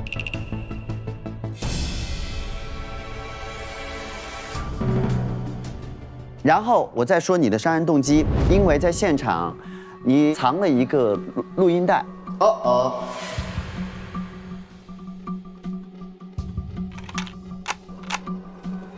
都六号了，到底什么时候宣布我是真公局的孩子啊？遗产到底什么时候才会到手啊？不会到 MG 九幺零二年五 G 视频手机 Reno 三 Pro 上市了，我都还没拿到遗产吧？别急别急，快了，这么重要的事情要找个盛大的场合，在所有人面前公布才行。放心吧，遗产不会跑的。这个录音带里面录下了真木偶和真律师之间的一段对话。这是六号，也就是五天前。同样的对话也被你听到了。对，他不但是知道，而且他付诸了实际行动。在他的房间有一个叫“给你补补鸡汤”煲汤配料，还有包了一包非常美丽的花朵。嗯，这花朵呢，在各位的鸡汤里面你们能看得到还。专门问了他那是什么花。他说是心里的花。这个花呢叫做北岸花，彼岸花，红色慢性毒发，红色慢性毒发，毒素和溶于水，毒素可溶于水，对中枢神經系統有明顯的影響。对中枢神經系統有明顯的影響。中虛神經系統啊，有明顯的影響。重點來啦！重點來了，連續發用三天后，正在第五天都發生嘛，都發生嘛。算了，我自己看吧。这里唯一一个喝了汤的人是我，你知道我心里有多难受吗？服用四天以后，在第五天毒发身亡。我想告诉大家的是，第四杯鸡汤是今天给的，对吗？嗯。所以呢，他们三个要明天才会毒发身亡，所以我们不要谴责陈木匠太严重了，因为他明天就要挂了。谢谢你。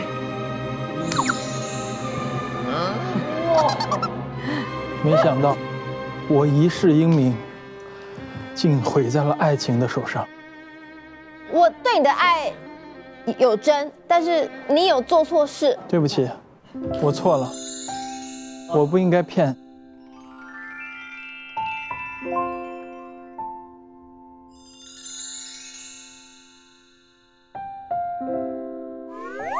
你先说，你有什么？哦，我刚才注意到这个线索，它是用抖音拍出来的。抖音上面不仅有有趣的视频，还有各种有用小知识，所还可以记录美好生活。没错，大家可以多多下载抖音，同时也要记得合理运用所学知识哦。今天就算是没有凶手动这个手，明天这三个人也会都得毒发身亡。所以在这里呢，我想跟侦探说的是，先说我排除的是他，因为他已经做了他想做的。嗯，那明天他的目的也会达到。也会达到。那么我怀疑的是这三位其中的一位，因为他的故事还没有出现。我想请侦探要弄清楚到底是谁对这两个人都有杀机。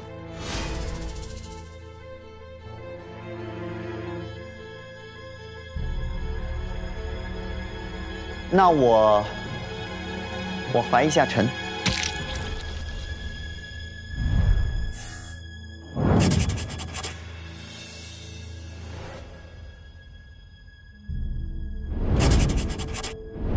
萨萨的故事还没出来，对啊，你那儿有吗？我那没有啊，没有人去萨的空间。没有人去萨吗？好，我自己講，我自己講。好，他给木偶写的那个鸡汤是木偶，我想你一定很忙啊，所以你只要看前三个字就好，就是我想你啊。哦，好高级哦你们笑得太早了吧？哦，真的，怎么怎么那么会撩啊？你为什么要害我？为什么要害你？害我那么喜欢你？哎我天！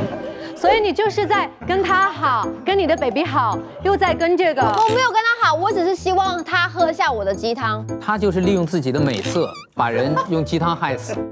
对，因为我遗传了我妈妈的美貌与大话。嗯嗯。那他为什么？他的目的呢？遗产啊！他在给甄律师的汤上面已经写着，等我拿到了遗产，一定好好谢你。所以他是要靠甄律师来帮他拿遗产。他毒死他是因为，虽然我需要你靠靠你来找我拿遗产，但是我已经听到了你跟甄木偶说你要把遗产给他，所以我只能毒死你了。然后我再亮出我的信物，至少我可以跟全世界说，只有我有这个信物。因为我有这个东西可以证明。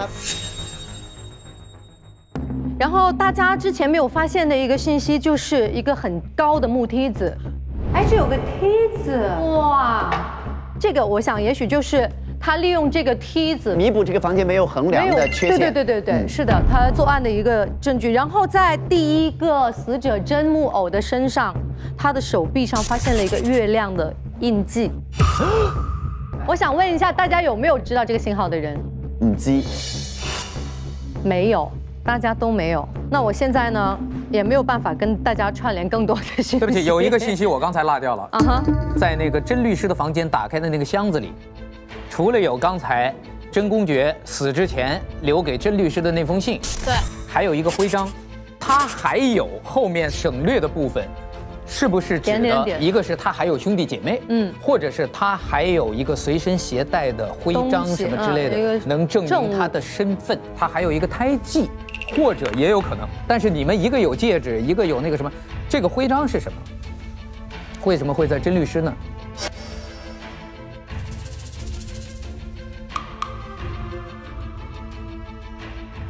请投票。好，那大家祝我好运吧，加油加油吧，侦探！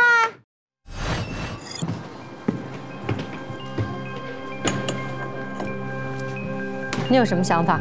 根据现有的线索判断，嗯，我觉得可能陈和鬼的嫌疑会相对来说大一点。嗯，那欧探长觉得呢？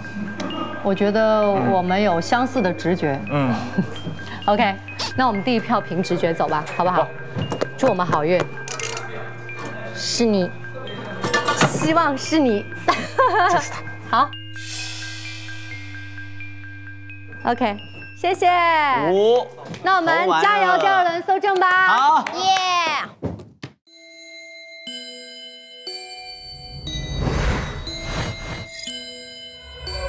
好，我们现在再看一下现场吧。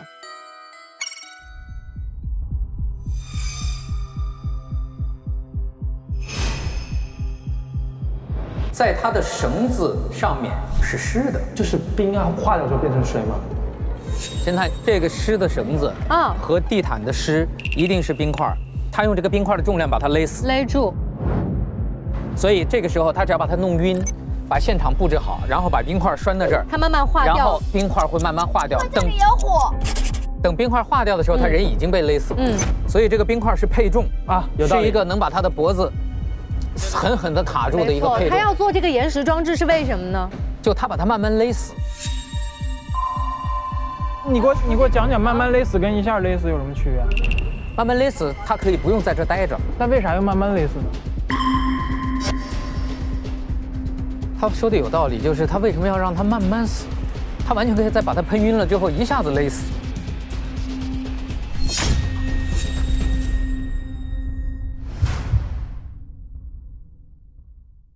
这里还有一个剪刀呢。刚才我说这剪刀是有什么用？看这上面还有个箱子，我们没打开，对不对？对那个上面。我来，我来，我来。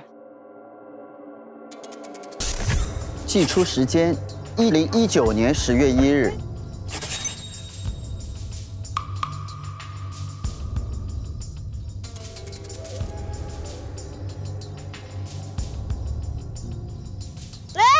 什么？DV？是谁啊？哎，你好，我是紧急救援队的机长方雨玲。我小时候确实在木偶之家住过，我还发现了一个不为人知的秘密，并把它记录了下来，放在了这个箱子里。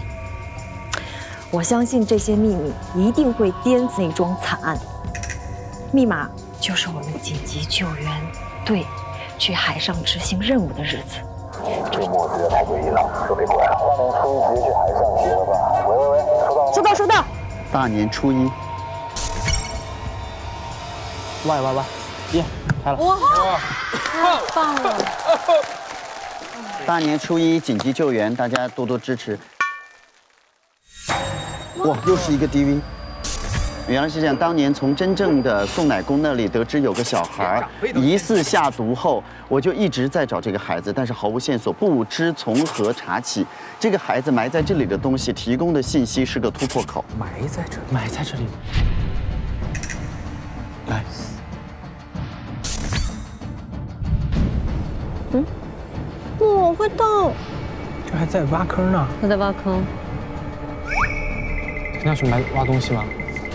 走走去挖东西吧。好可怕！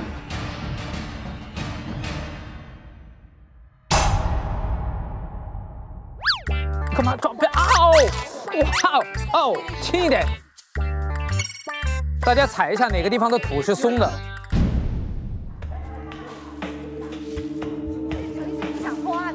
哎哎，这里，这里，哇！嗯，一家人是一家人。爸爸妈妈、弟弟、妹妹。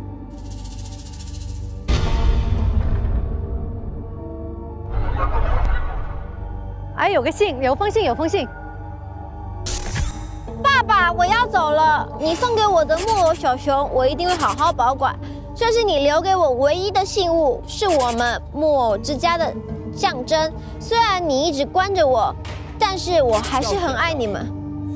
钥匙，钥匙。虽然你一直关着我，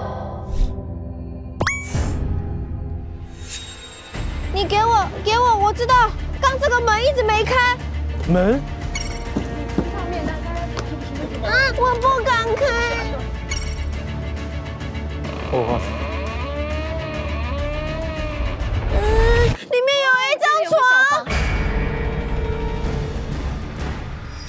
一直关着谁啊？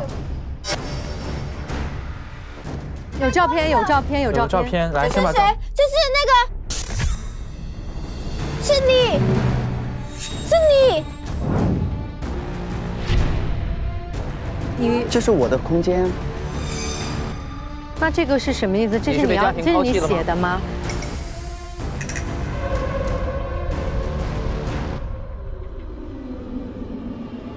这里面应该还有东西，我觉得。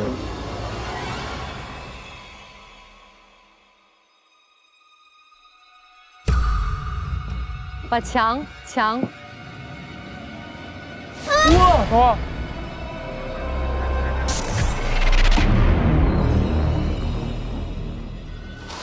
天哪！你用你写了血书。我是爸爸妈妈的孩子，我恨你。我才是爸爸妈妈的孩子，我恨你。你恨谁？你恨谁？你恨谁？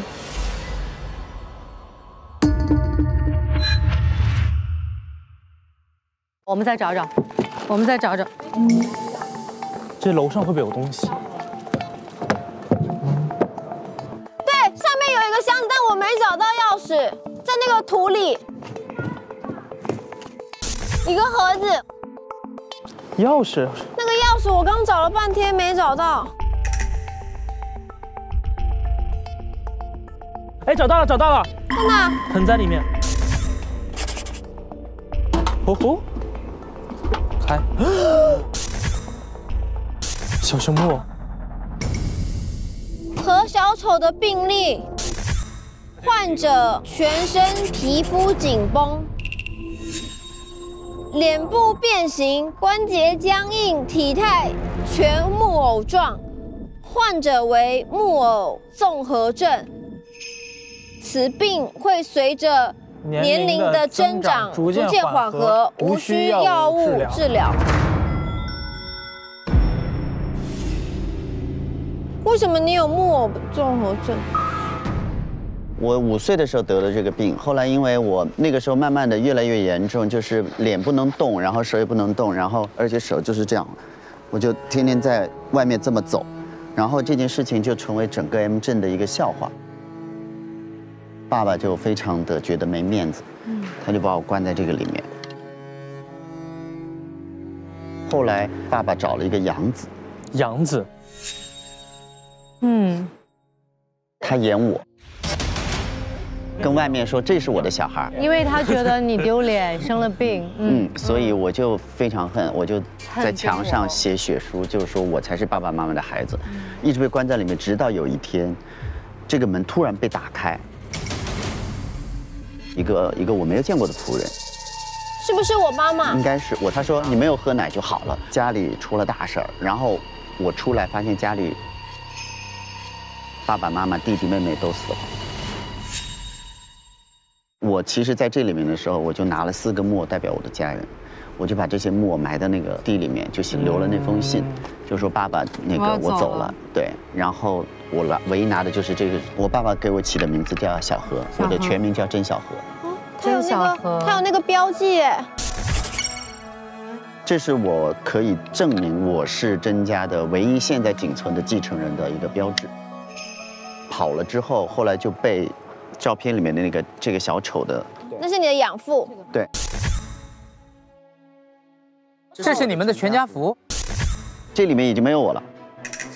我知道有人取代了我的位置，但是我已经跟甄律师认过身份了。甄律师说不对呀，一家五口带着三个小孩活得好好的呀。我就跟他讲了，那个其实是养子。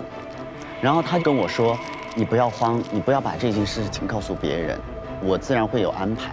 然后我就等着他，一直等到昨天的时候，去的他的房间，撬开的全家福亚克力的盒子里面看到了这个。对，我一看，我说，哎，原来那个杨子就是真木偶。这是你的山东鸡，杀鸡。那你也只有一半的杀人动机。甄律师没有针对我，我从头到尾不知道他要把所谓的这个遗产给杨子的事情，你没有像他俩那样听到过那番对话完全没有，完全。交收养协议书，领养了我又抛弃我的这家人，用我自己的手毒死你们，是你们最好的归宿。你要毒死他们吗？不是，不是那个真木偶要毒死他们家，不是要毒死他们家，他已经毒死了他们家。我来念一下啊。原送养方 MC 天使孤儿院，原收养方真公爵男，收养真木偶时三十五岁，现年三十九，也就是收养了四年。嗯，原被收养人真木偶男放弃收养原因，这个孩子不善良且品行不端，趁家长不在虐待弟弟妹妹。经了解后发现，这个孩子从小如此。不适合真公爵的木偶之家，经商议送回 MG 天使孤儿院，今后不再过问真木偶的任何事。所以，一零零五年一月一号的时候解除了收养。下毒的时候是一零零五年的一月十号，十天以后发生了灭门惨案。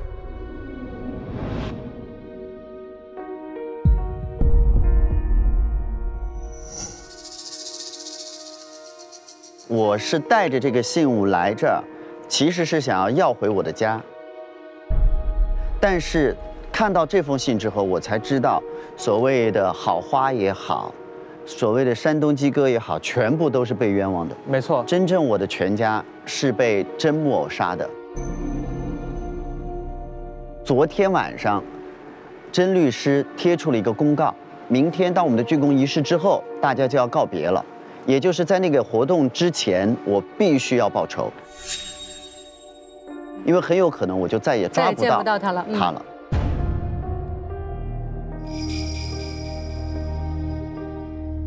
你从哪儿找到这个了？在那个亚克力的盒子里面。那这就说明了，其实律师是知道是真木偶毒死了你们这家人。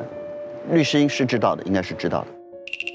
如果他从甄律师那儿发现了这个东西，而甄律师又告诉他说没有啊，人家一家五口带着三个小孩活得好好的，你会不会认为甄律师在欺骗你？我觉得应该有这个情绪。所以这是不是你杀他的动机？不是。现在就是要报灭门之仇。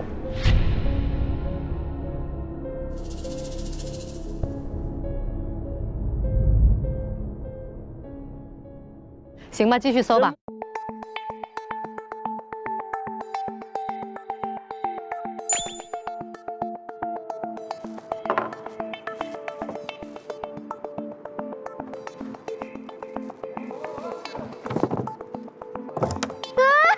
这是什么啊？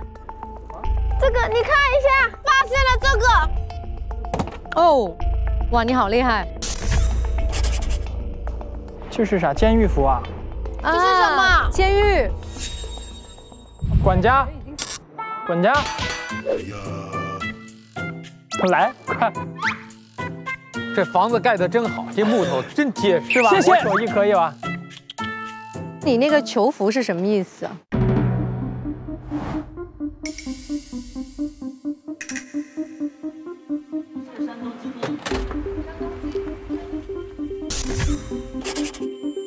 个箱子打开过吗？没有哎，搜身搜身。跟他有关系。哎哎哎，干什么？干什么？搜身。干干什么？让侦我来看看，探来搜。我来看看你心里的给我。给我。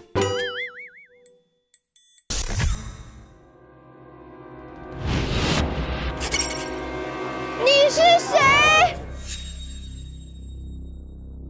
这边有一个真公爵，一个真夫人，真小妹。这个是什么啊？我妈。好花，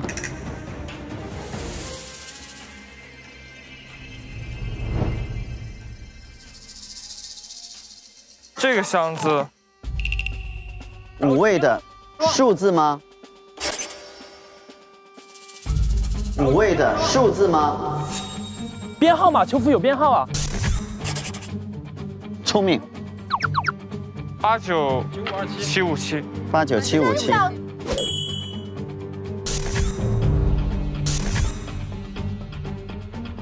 这是好花对吗？这是我妈妈。她戴着那个项链，然后这里有个小孩儿。这不是我。霸王。双节棍。你是山东鸡。他没有自焚。啊，你是山东鸡。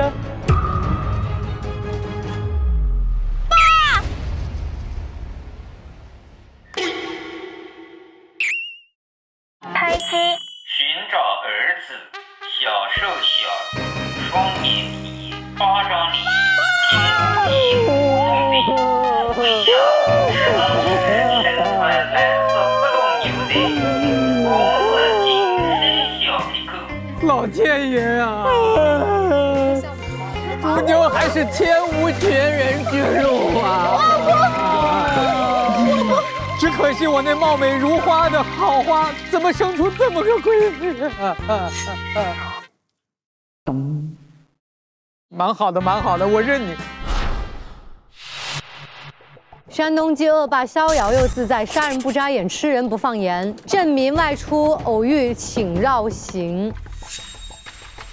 这是一个偏见。这事儿是这样，二十二岁那一年，我有了第一个太太，生下了你哥。没错，人生生下你哥的时候呢，他就走了。我妈生我的时候难产死了，然后我就带着你哥，孤苦伶仃把他抚养到了四岁。这时候遇见了你妈，没错，你妈妈好花，跟我在一起，而且对他特别好，对，一直把他当亲生孩子一样的照顾。但是好花唯一不满意的就是他觉得我的生活不够安定，所以有一天他离开我了。然后在一零零五年的一月的时候，山东基地乙发现了，他是他给我发来了一条消息，木偶之家打工的好花，于是。呃，陈木匠看到偷偷摸摸、鬼鬼祟祟装成送奶工去木偶之家的山东鸡哥，其实就是在找自己的太太。我来到了 M 镇之后，想尽办法想要接近这个古堡，但是由于古堡看管严备，没有办法趁虚而入，所以我就想了个办法，因为他们家每天有送奶工，我就威胁送奶工让我换上他们的衣服。一月十号，我和送奶工一起来过来送奶，但是走到古堡门口的时候，突然有一个十岁左右的小孩跟我们俩说：“哎，你们是来送奶的吗？快到树林那边去，有一个有有一个女人在等你们。”然后当时我想，会不会是好话？我二话没说，扔下这个奶瓶子，转身就往树林跑。那个送奶工也跟着我一块跑到树林。所以那个奶瓶子完全那个时候是处于我们没有看管的情况控制之外的。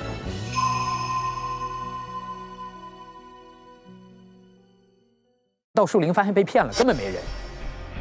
等我们回来的时候，发现那个十岁的小孩正在慌慌忙忙地系那个袋子，系好系完绳一跑就不见了。但我们没多想，心想还得赶紧把把奶送进去啊。我们就把奶送进去了。第二天，这个案子就全镇闹得沸沸扬扬，然后就不知道从哪出来一个真律师，然后就在法庭上指证说是我干的，结果他凭借三寸不烂之舌，加上人们对我的固有的偏见，把我逮起来。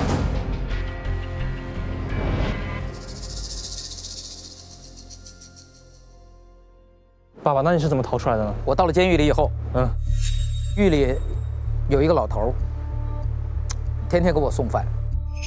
这个老头说：“我看你啊，天天在这个墙上写‘不是我，不是我，不是我’，我觉得应该不是你。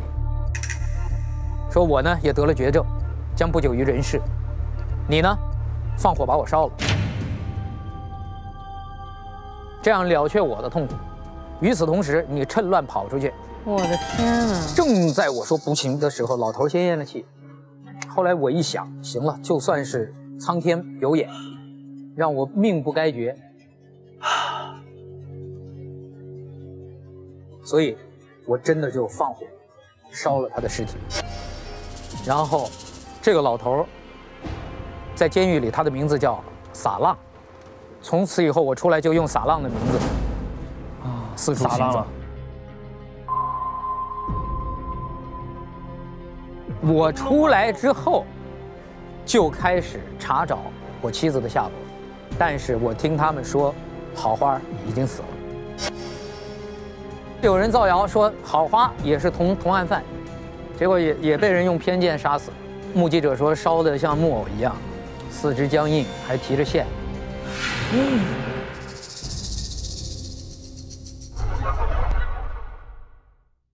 那谁谁杀的好花，你知道吗？我是知道，甄律师是把我冤入狱的人，而且差点害我死刑，并且我出来之后回头去找儿子，也儿子也不见了。嗯，因为当地蓟镇发了个发了一场大洪水。嗯，对，我的基地甲带着我走了，带着儿子也不知所踪。人物复杂到，这个在哪发现的？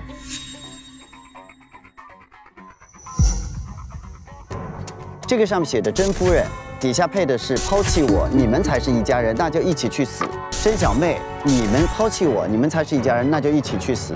甄小弟一样的，你们去死。甄公爵，那就一起去死。女仆好花，替我背锅的人，烧了你就查不到我了。前几天来了两个人，在这表演非常烂的节目。哎，哎，啊，说谁呢？这跟你没关系了，对，跟你怎么样？没事没事。过来演节目，我就看着台上有一个人，我说怎么那么面熟？后来我因为是管家，所以我有一天在打扫房间的时候，发现了真木偶的房间里有一张他小时候的照片。我一看，这不就是当天十岁的骗我到树林，然后自己在那打绳结的那小孩吗？天哪！然后我就想把这事儿弄清楚。一月九号，溜到他房间，发现了这五个木偶。我才知道，原来他不仅是害死甄公爵一家的罪魁祸首，而且还甩锅给好花。好花把好花烧死，也是他干的。OK，而且也顺带着害得我家破人亡，妻离子散。你的两重杀机都出来了。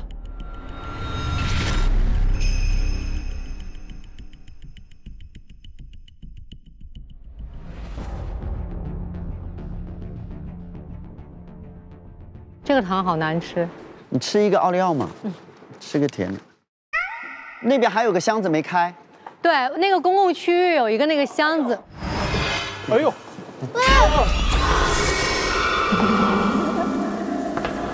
哎，这个老吓人了，刚才我就没敢碰它。爸爸。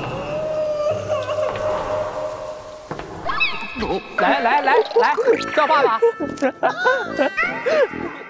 你以为爸爸是被吓大的？但是很吓人，确实有点吓人。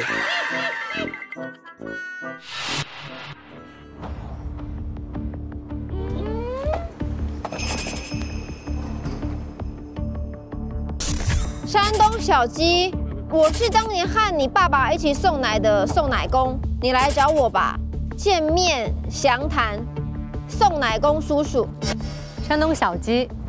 我一直在调查我爸爸的这件事情，然后这时候呢，有一个号称跟我爸爸当时一起送奶的那个送奶工，说要跟我见面，然后跟我聊一下这件事情。嗯，他说这当时的那个小朋友，这里有有一个月亮的胎记。就是我在这里工作的时候，突然看到他有一个月亮的胎记，我断定这个木偶就是当时下毒的那个小男孩。所以你也知道了这木偶的事情。没错。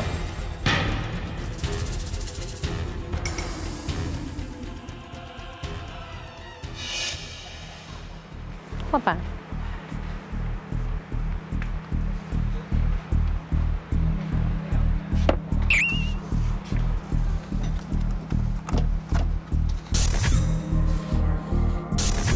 领养了我，又抛弃我的这家人，用我自己的手毒死你们，是你们最好的归宿。这个他是知道的。假设计，哎嘿，这个是你拍到的刚才那一张纸吗？没错，这就是我在我们甄律师的房间里找到的。就是我去偷信的那一天，我就匆忙之间看到了这个，但我又不可能搬走，我也不能把它撬开，我就赶紧拍了张照片，我就走了。等于他也知道杀了全家的人就是他，他也知道是他的父亲是冤枉的，没错，那就是他的杀机喽。他就是两个都有了。嗯。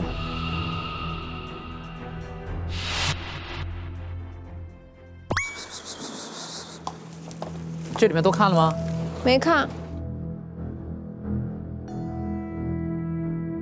我看到了，在哪儿？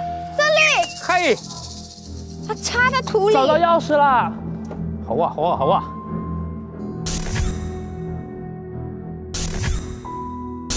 应该是个。哦哦，是那个木。一模一样的木。两个。黑靴子。黑衣手套。那就估计他是举着，趁着夜色。你们是几点钟看到他的嘛？七点之前，晚上七点。这是一件黑衣服，斗篷，黑斗篷，黑斗篷，黑手套。这里有好多植物的根。我知道是谁了。是谁啊？鬼鬼花匠。可是那个花园是公共空间。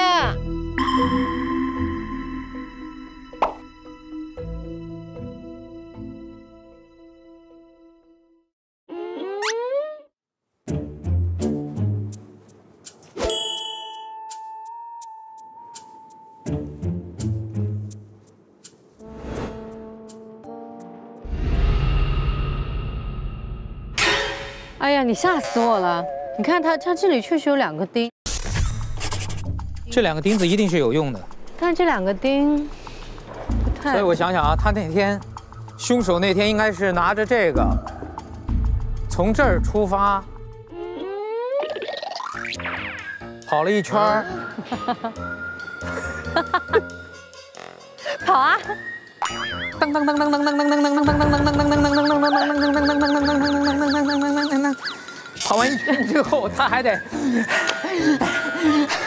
然后去装梯子。装梯子干嘛？梯子不是他要拉那个人的话，你忘了那个 video 不是这样这样这样这样上去吗？这个人从五点半开始，就有可能已经死了。对。他不需要在七点之前让我们看完那个木偶之后，那么短的时间再去拉那个死者。可能之前那个 DV 早就都拍完了，五点多钟的时候，你知道吗？明白吗？明白。全都做过，都都做过了。那那七声是啥意思啊？啊？那七声？七声钟响就是告诉我们时间七点。那你不说他五点就死了吗？我的意思是五点半之后，我们不就都没有相互在一块儿的时间了吗？发现吗？换句话讲，在鬼那发现的。哦，这里还有个箱子，钥匙在哪儿啊？来，我先上这边，小心。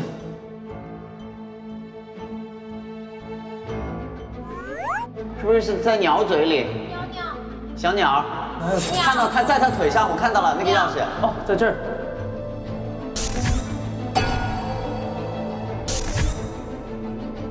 啊，本儿。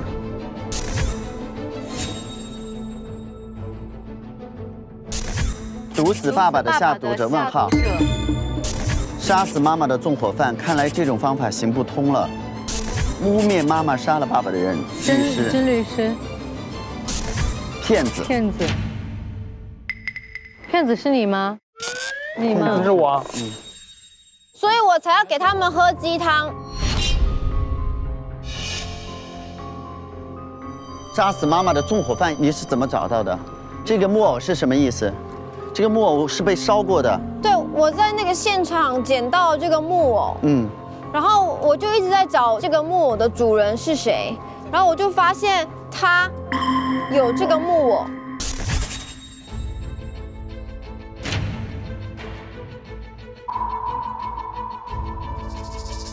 我每个人都想杀，因为呃，我有想杀他，然后还有他，他是因为我是真的爱他，但是我发现他是那个证人，他是那个污我跟蔑他我跟他撒谎的那个。对我跟他相爱的时候，我不知道他是这个证人，然后我就看到他那个笔记本，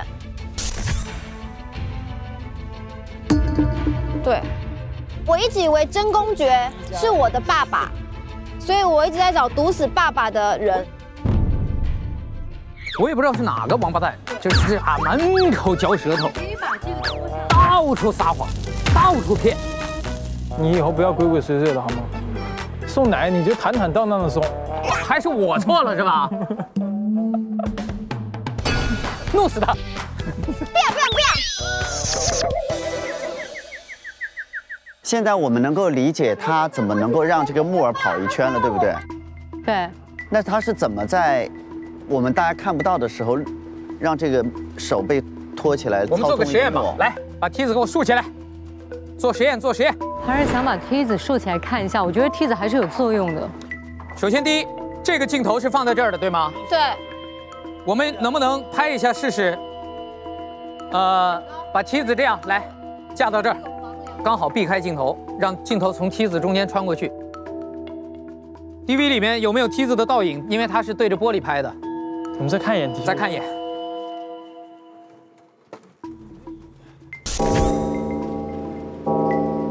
有吗？没有。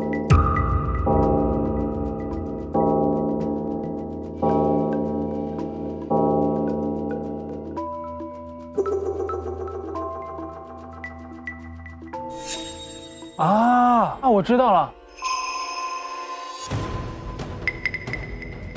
不，这个就是那个吊的东西吧？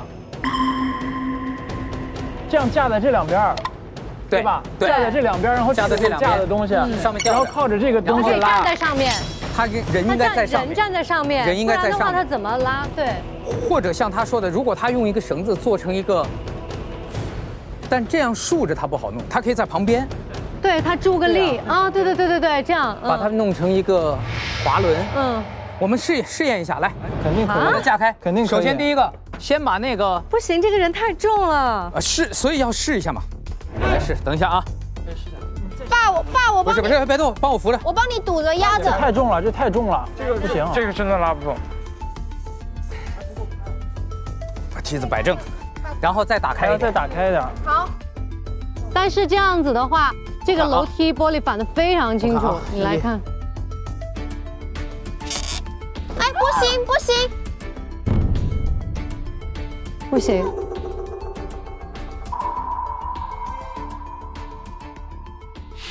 就做不到，太涩了。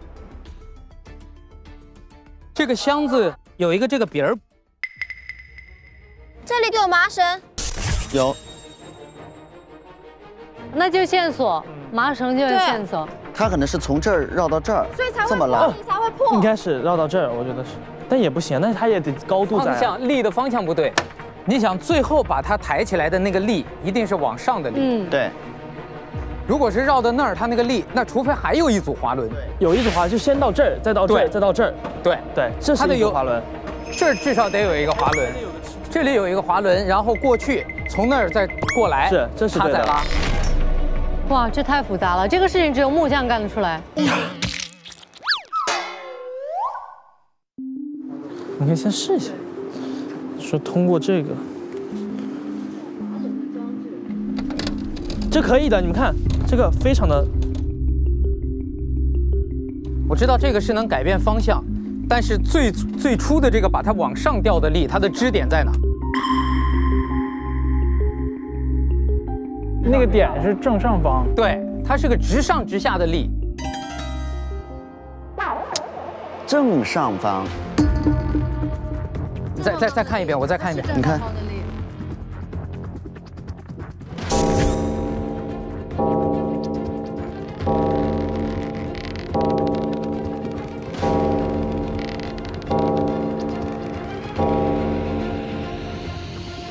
我刚刚发现一个细节，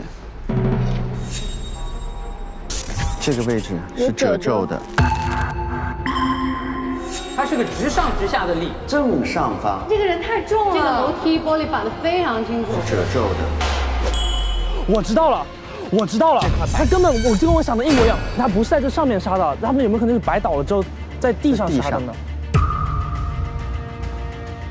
这块白色的不是墙，是布。这里有布，就是用这个打开扯下来，把那个布扯下来。他是在地上杀的，有道理，这样他就不用用那么大的力，然后把它铺在地上。对，这这样就说得通了，这样就可以跟这个轮滑滑轮，它就直接可以横着拉。对呀，对，横着拉，它的力量就是从正上方上去的。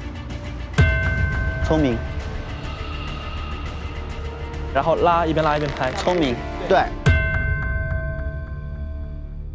可是，亲爱的们，这个恢复这个柜子会不会时长很长啊？五点半以后，五点半以后到七点，两个小时啊，都有可能。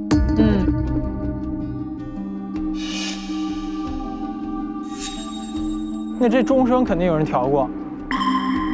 对，钟声什么意思？钟声是七点响的呀。它带着这个七声钟响，就是为了告诉我们拍这个东西的时候，是我们都听到七声响。对对对对对，是拍到了七声钟响，早上七点。是拍到了七声钟响，只要比七声多的话，它都可以拍到七声钟响吧？也是，嗯，对，其他九点、十点都可以，只要他及时按掉那个键。但是十一点零五分，他看见他过去取信了。我在干活的时候看到他走出去了。十一点零五的时候，所以就是十二点钟的时候是他的杀人时间。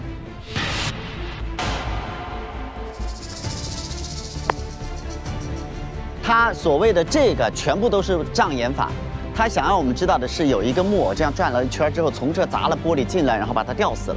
嗯，自导自演了一出。他其实，在七点钟的时候，只需要打破一个玻璃就好了。这个我们解开了吗？我们现在只解了一半题，同学们还有一道大题还没有解，马上就要收卷子了。这里还有什么吗？脚印，这有脚印。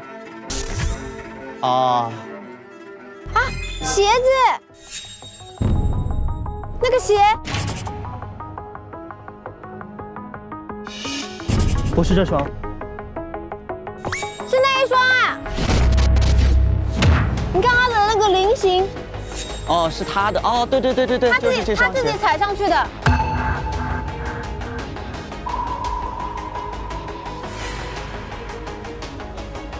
凶手想假造他自杀。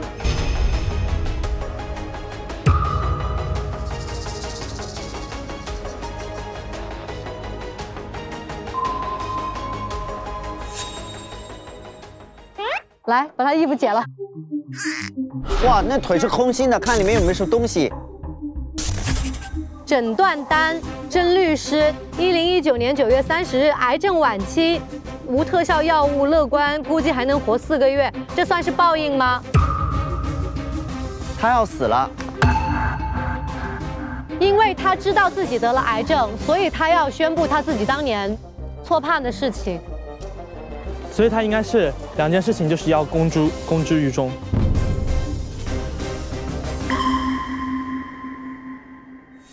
我觉得是自杀哎。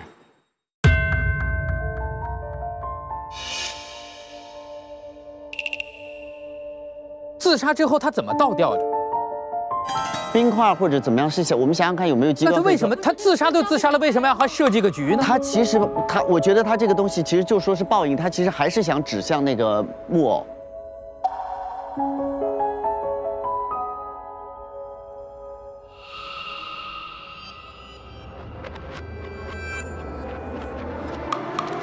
我觉得有可能是这样的，就像跟你的那个老头的故事一样，就是因为他反正命也不久矣，他用这种方法来成全我们中间那个嫌疑人。这样的话，其实用两件事情来证明一个无神论者。我作为一个无神论者，我当然不会认为是木偶勒死他的。用两件事情来证明一个无神论者，你必须得认，这就是一个木偶的杀人案。他其实是这样的，他就想让想把我们吓走吧。我觉得应该就是说把侦探吓走。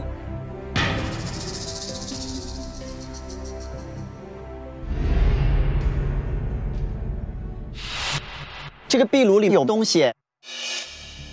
这里这里这里有一个，这里有一个这个。可以抽。这里有哦，有东西来。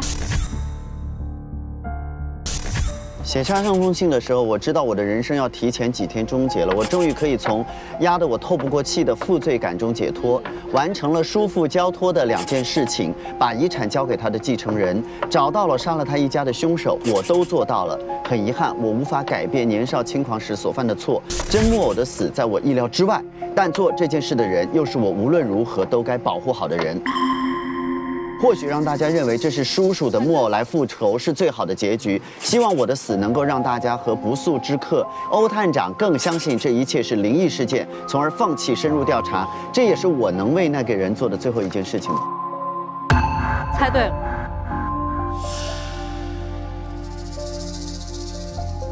所以他最想保护谁？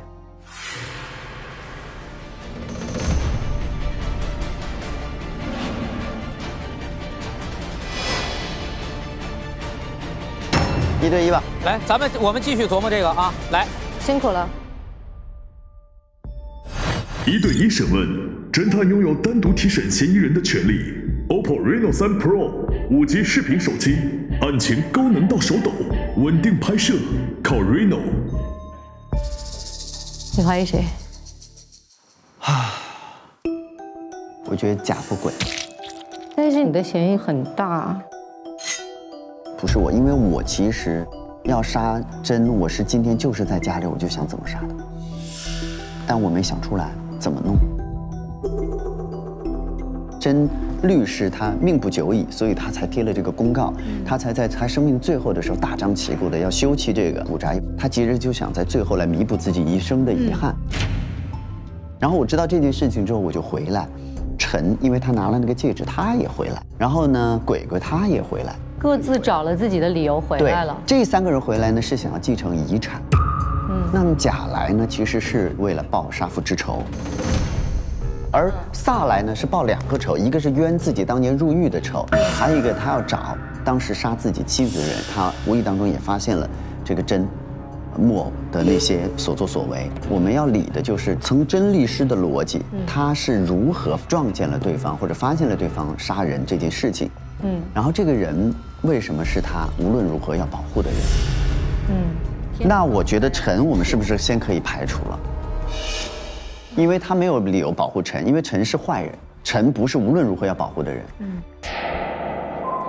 那他要保护鬼的理由，就是因为他的妈妈也是因为他的原因才走的。嗯，所以他无论如何要保护鬼。我呢是真正的继承人，他也无论如何要保护我。嗯，那么甲。跟萨是他真正对不起的人，因为他当时冤枉过这个山东鸡哥，也对不起他的小孩，所以他也无论如何要保护。这四个人都是说得通的。但是你想，如果甄律师不搞清楚到底谁才是那个继承人的话，嗯，他为什么要保护呢？他有愧疚，他不见得要保护的是继承人。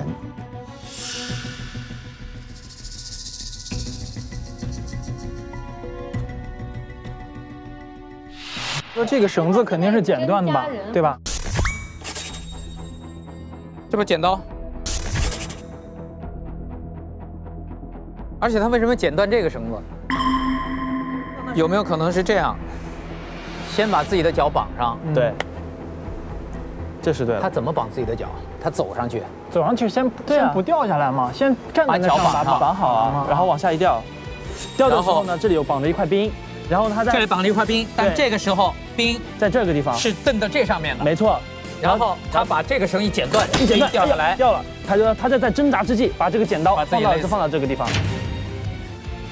剪断之后，冰块作用在脖子上，一下把它勒死，应该是然后冰块慢慢化掉。对，啊，我知道了，我知道了，这还有一根绳子是在木偶手里的呀。对呀，他这先先摆在这儿，然后最后对吧？对，对的，那根绳子是摆在木偶手里的，所以他不可能动那根绳子，对他要提前摆好。没错，他就这么死了。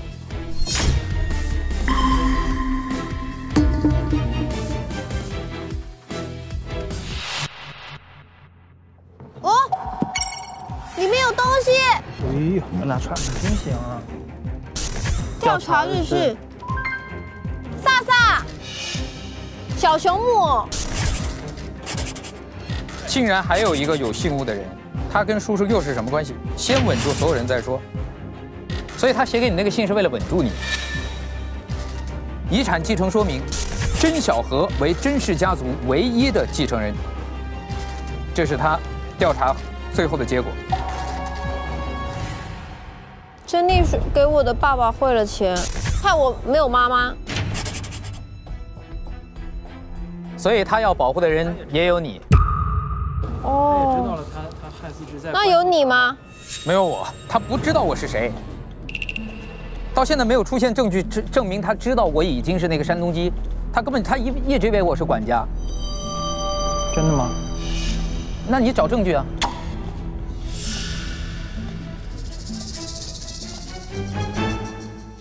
我来了，我发现新的证据，哦，真的吗？哇，好棒！什么啊？发现了一件事情，请坐。但是这件事情我不知道。首先，哎，我等一下，我先问一下你，你那个十点半去见到他的私事是什么？十点半我去找他呢，是因为我不是一直有在送鸡汤给他吗？我到了那个木偶的房间，我发现他把鸡汤给倒了。嗯，但我只是觉得我第一个计划失败了，我准备晚上去动手，但还没有动手他就死掉了。嗯，调查日志，这是什么？这个呢，里面有一个，就是他知道他害了我妈妈，所以他汇了这些钱，但是这些钱是我不知道，他会给那鬼养鬼养父。我一直给你爸爸汇了钱，因为我的原因让鬼花匠失去了母亲，这个错无论如何都无法弥补。啊，他是很愧对鬼的。这些是什么意思？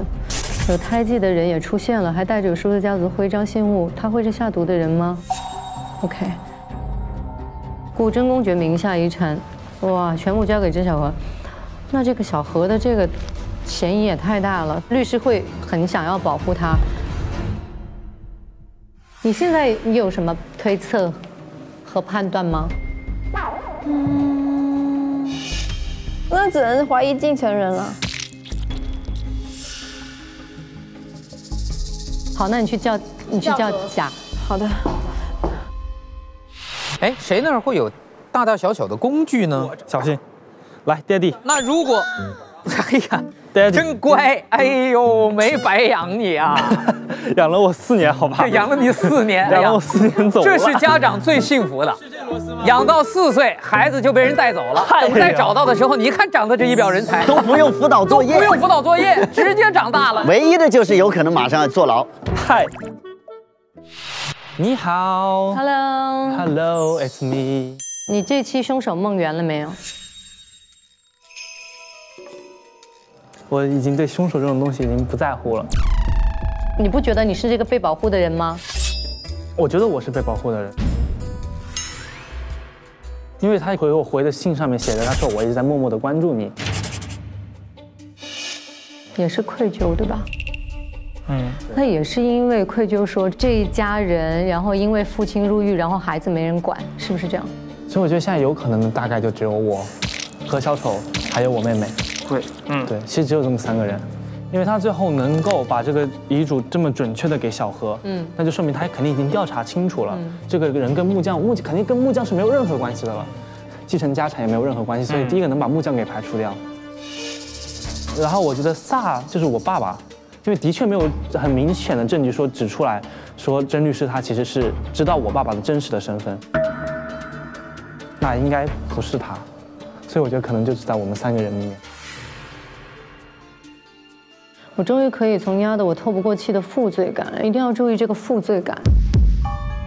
打赢了那场官司，其实他是很负罪的。负罪的。那那场官司中最受伤害的人是谁？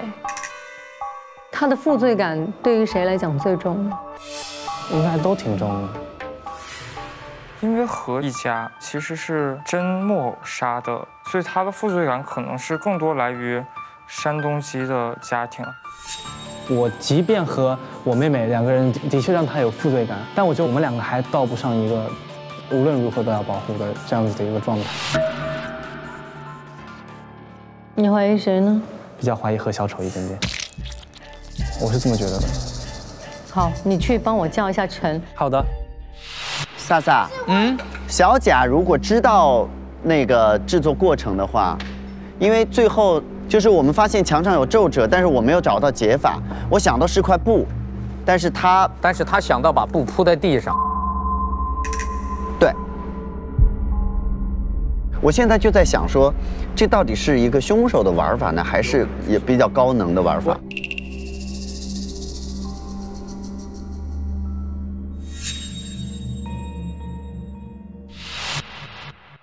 请坐。你干嘛？你干嘛心事重重呢？他为什么不保护我呢？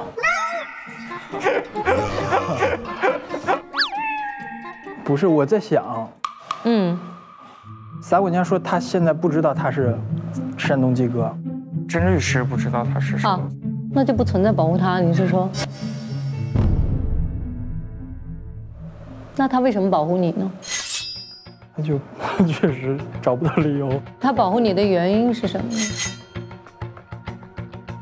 如果他看见你杀了真木偶，他会说什么？他就会把我绳之以法。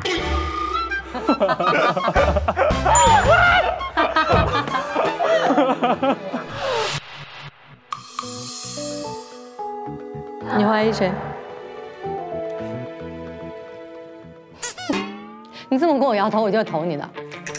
就我这种不按套路出牌的人，我劝你最好不要 啊！真的别投，投我是浪费。你帮我叫萨。哎，欢迎，请坐。有眉目了吗？我已经半条命了，脑子烧坏了。你告诉我这件事情能不能排除掉大部分的人？反正现在我们可以梳理出该保护的几个人，和鬼甲这三个。嗯，还有一点是我觉得奇怪的是，我到现在没想出个眉目，就是凶手为什么在十二点的时候不多不少要留七下？也就是说，他在中午十二点的时候就计划好要在晚上七点让所有人发现尸体。他知道我七点钟要来，跟那封信是有直接关系。那封信十一点零五送到的这里。嗯，我们发现这封信的时候是在死者的口袋里。嗯，凶手留七声响，就是为了跟晚上七点的钟声吻合上，然后把我们所有人晚上七点带过去。七点是一个什么时间点？就是你来的时间点。谁知道这个事儿？如果这个七是凶手刻意留下的，那谁知道这封信？谁就有可能。好，那我们集中讨论吧。哎呀，这是一个绝对在五 G 以来排名前三的设计，给你们点赞，设计的牛，来吧。因为现在我们最有效的证据还是刚才拿到的那封所谓的遗书，我觉得这里面的讯息还是最重要的，所以根据这个，我们做了一下排除。嗯，我无论如何都该保护好的人。有三个，没错，一个是亲骨肉，对，另外两个孩子是他曾经亏欠过家长，对不起过的。陈是因为他干过坏事儿，他没有必要保护他。萨是因为他不知道你还活着，他说他一直在关注这个孩子，就是他在心中是默认他的父亲已经死了的，对他不知道他还活着，所以呢，这个凶手就在三个孩子之间。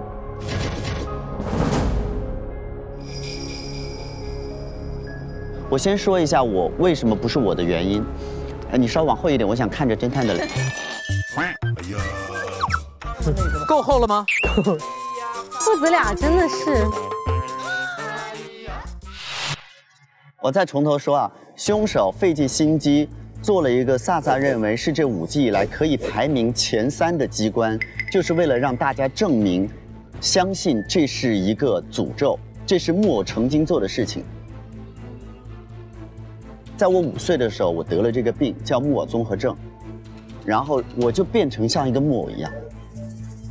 于是整个镇开始有一种谣言说，真公爵家的木偶成精了，跑出来可能会祸害人。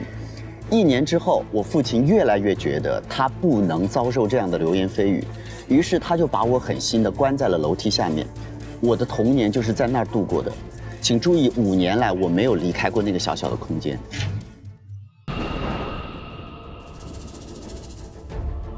我只能通过房间里面狭小的缝隙看到外面的生活。我更觉得可怕的是，他们为了让外人觉得我并没有消失，找了一个养子来取代我。所以对我来说，这五年或者说木偶成精这件事情，是我人生一辈子的噩梦。所以，我可以有一千种办法来恨这个真木，我可以用一千种方法来杀他。但是我绝对不会用木偶成精这个方式，因为这对我来说才是真正的诅咒。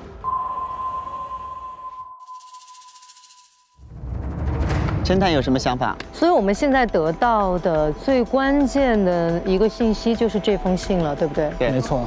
而且他也说了，真木偶的死是他意料之外的，但他一定知道了是谁杀的真木偶，他一定是撞见了。对。能不能再念一下这个？很遗憾，我无法改变年少轻狂时所犯下的错。真木偶的死在我意料之外，但做这件事的人，又是我无论如何都该保护好的人。或许让大家认为这是叔叔的木偶来复仇是最好的结局。希望我的死能够让大家和不速之客欧探长更相信这一切是灵异事件。从而放弃深入调查，这也是我能为那个人做的最后一件事了吧？我能为那个人做的最后一件事儿，通过这句话，我基本排除和了，因为他说的是，很遗憾，我无法弥补年少轻狂时犯的错，他不是他犯的错，对，他跟他犯的错没关系，对，犯的错是他们俩。因为他最后一句话是这么写的，这也是我能为那个人做的最后一件，说明那个人就像刚刚侦探说的，他为那个人做过事情了。那为那个人做过事情，只有为何做过，为花做过，他没为我做过任何一件事情。默默关注你啊，默默关注我，这算是他为我做的事情吗？对啊。还有一点，十点半的时候，鬼去给真木偶送鸡汤，然后他回头的时候，无意当中瞥见。真木偶把汤给倒掉了。有，我刚刚跟侦探说了。当他瞥见这个的时候，其实他明确，他就明确自己必须马上动手。必须马上动手，就等不到明天了吗？假弟弟是发现了整个的过程，自己的父亲是怎么被冤枉的，而且你心里是真实的认为自己父亲已经走了。其实你的复仇心是也是很强的。还有一点，说句实话，就是这一个怎么把重力变成摩擦力，然后线条什么这种，我觉得其实跟建筑学还是蛮有关系的哈，对吧？有点吧？但是反正目前推出来呢，我觉得就在我的两个孩子当中，一个爸爸坐在这儿，我们听爸爸的吧。爸爸是爸爸，爸爸你爸爸你再说认真的把嫌疑人最后锁定在了自己变成 两个孩子。对。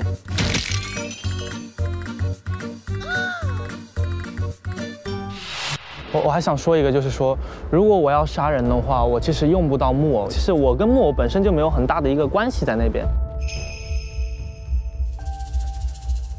因为用木偶诅咒你，可能可以逃脱罪名。对。还有一个细节，嗯，杀害真木偶的时候，复仇的木偶是一个女孩。一个女孩。好花。真律师自杀的时候。他伪装成的复仇的两个木偶，一个男孩，一个女孩。好花跟你，那这两个可能是他最亏欠的人了？他是想造成好花复仇的感觉。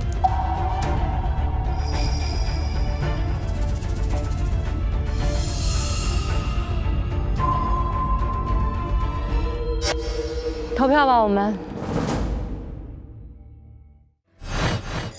来吧，我投的票吧，加油！相信欧探长。愿凶手保佑我们。根据最后一封遗书，这里面是我我们的一个最关键的讯息，能为他做最后一件事的人又是谁呢？他对这个鬼花匠有很大的亏欠，一直在给他汇钱。假设计呢，他一直在默默的关注他，好像也没有做什么具体的事儿。嗯，活小丑，继承人是他，嗯所以他要保护好。那这三个孩子里面，我们选一个投票。听探长你偷，偷告诉我你想投谁？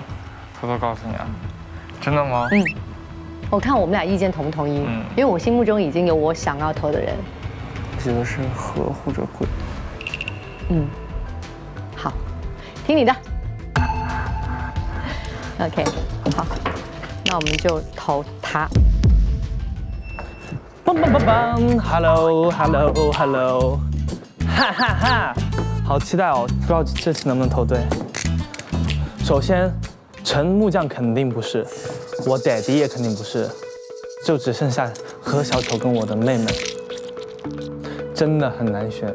能把整个现场布置成一个用木偶来杀人的这样子一个状况的话，我觉得其实是小丑是对木偶最了解，所以我最后把票投给小丑，希望能对吧？哈哈哈。哼这个案件，我觉得萨管家不是，是因为萨管家呃的身份在甄律师那里是没有被查明的，所以他并不知道萨管家就是当年的山东鸡哥。那么陈木匠从甄律师已经写好遗嘱，把遗产留给我的这个情况来看，他已经识破了陈木匠是个骗子这件事情，他没有理由去保护一个骗子。那么也就是说，剩下假设计跟鬼花匠，我觉得从杀人动机的情况上来讲呢，一个是杀母之仇，一个是杀父之仇，其实不相上下的。但是我觉得，对于木偶这件事情比较熟悉的，同时在十点半发现真墨没有喝汤，杀机变得更加强烈的是鬼花匠，我投给鬼花匠。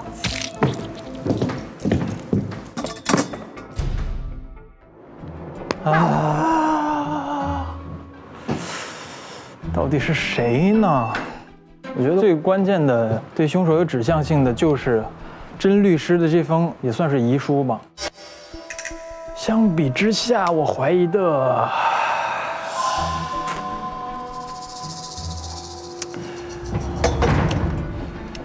应该是他了。不知道有没有猜对？开门！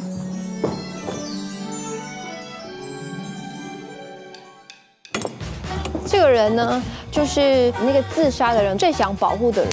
对，我要投他。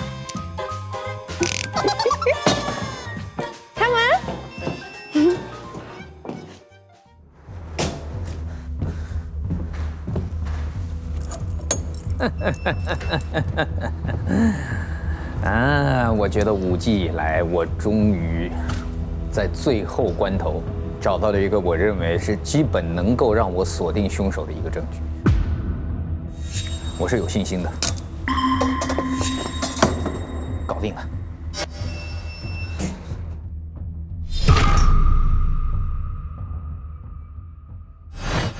有一种不祥的预感，不祥的吉祥的预感你心里有感觉是吧今天为？什么吉祥？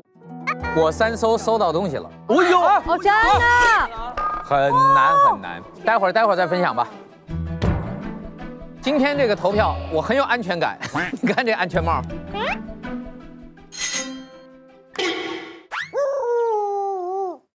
《明星大侦探》第五季第九案：木偶复仇记住，究竟谁是杀死真木偶的凶手呢？现在公开投票结果。首先公开获得零票的安全玩家，何小丑。我们一定不是零票。获得零票的是萨管家，我的不是零票吗？六根金钱。还有一位玩家也是零票，他就是假设计。啊！恭喜两位玩家，嫌疑暂时解除。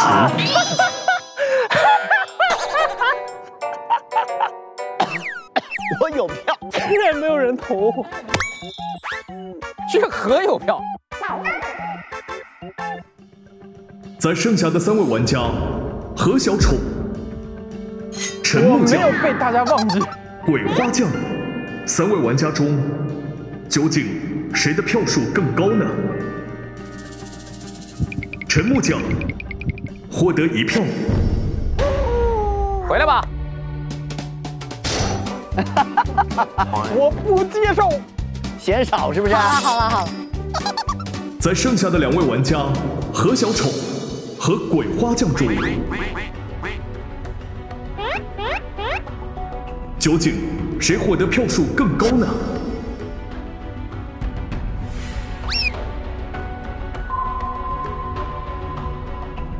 获得更多票数的玩家是鬼花匠，请把鬼花匠关进笼子。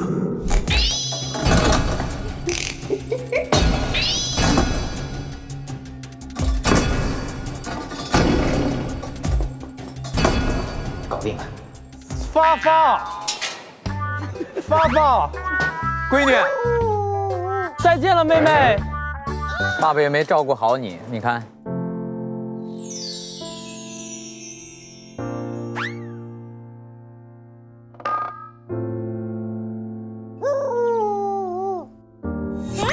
我头我头出不去。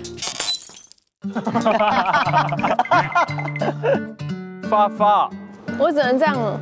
究竟鬼花匠是不是杀死真木偶的凶手呢？探案神器 OPPO Reno 3 Pro，真凶揭晓时刻。现在我宣布，各位检举。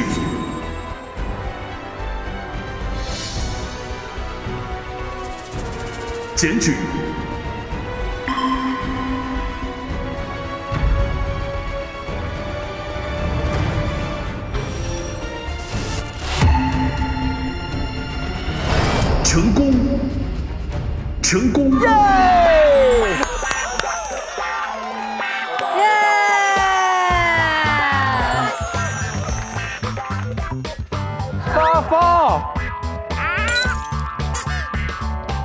三搜搜到了一个重要的东西，有一个非常重要的讯息：鬼的空间是单独的。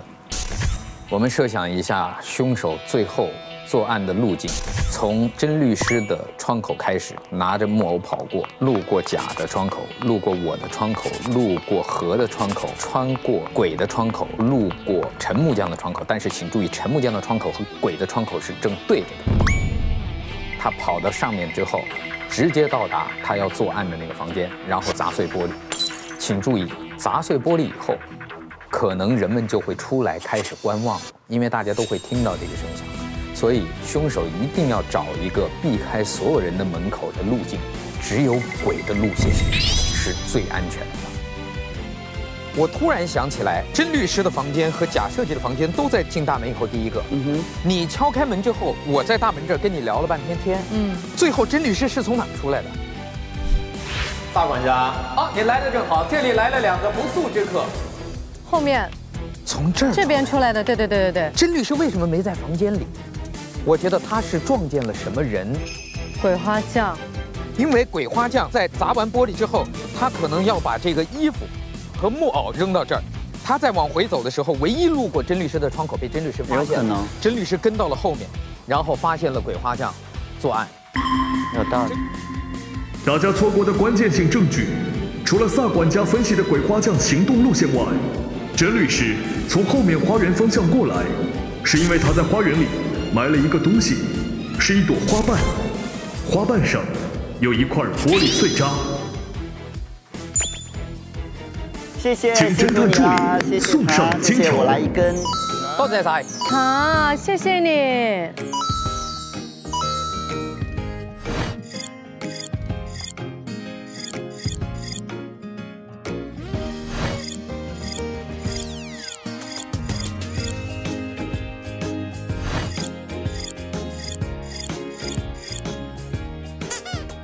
我觉得呢，我得向女儿说一声对不起。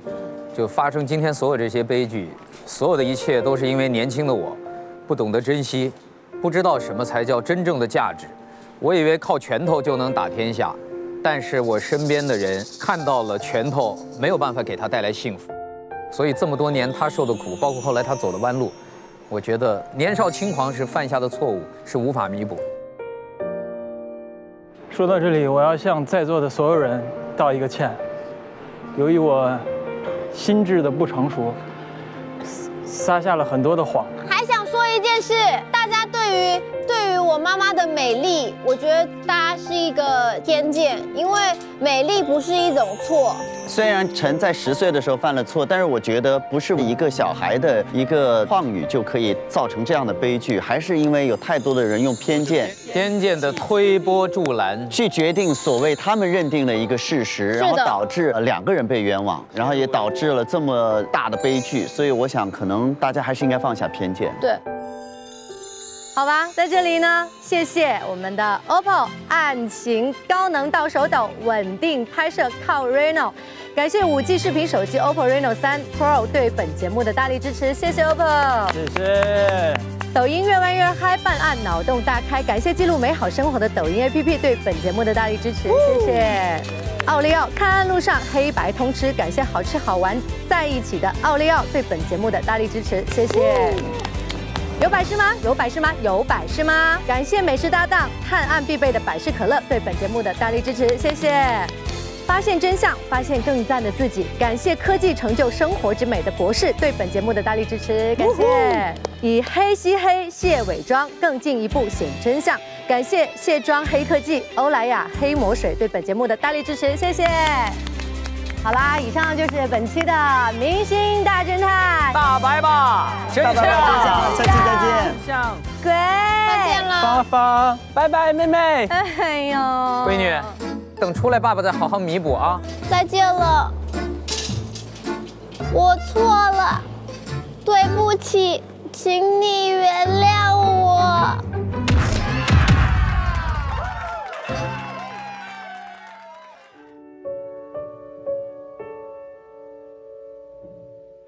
现在网络社会很发达嘛，偏见肯定会有。人云亦云，没有自己独立的判断。这个偏见一旦有了一开始，就会一直偏见下去。你再怎么努力也也没办法，大家也都还是会，呃，用这种方式去看待这些你看似无心之举，但其实是对他们伤害非常深的。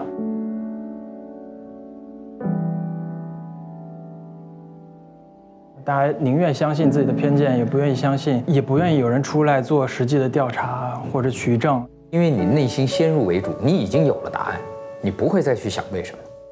这就是为什么人会被眼前的这种假象所迷惑。不要着急的把自己片面的看法去强加给别人，更不要因为自己某一些其实不成熟的看法，试图去改变别人的命运。用心去。交朋友，去看待别人，看待这个世界，而不是说用耳朵去听别人说什么。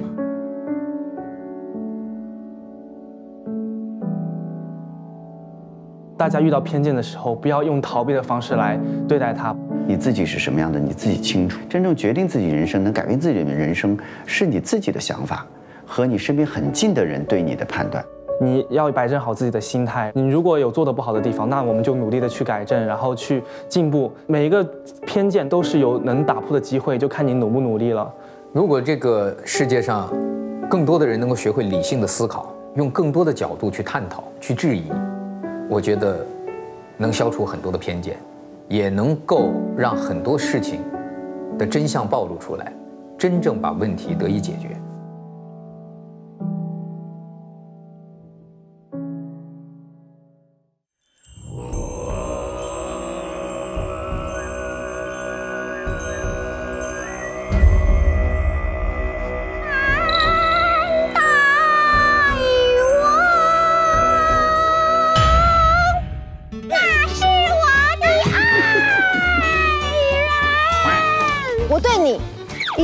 钟情。我这是造了什么孽呀？高山流水遇知音，我在这儿呢，只有一条感情线，就是撒花。你混蛋！我是私家侦探哦，左藏龙，右卧虎，中间一个二百。大哥，你你是干嘛的在这儿？绿男红女的，没事能叫隔壁老陈吗？老公，我现在应该是遗孀了吧？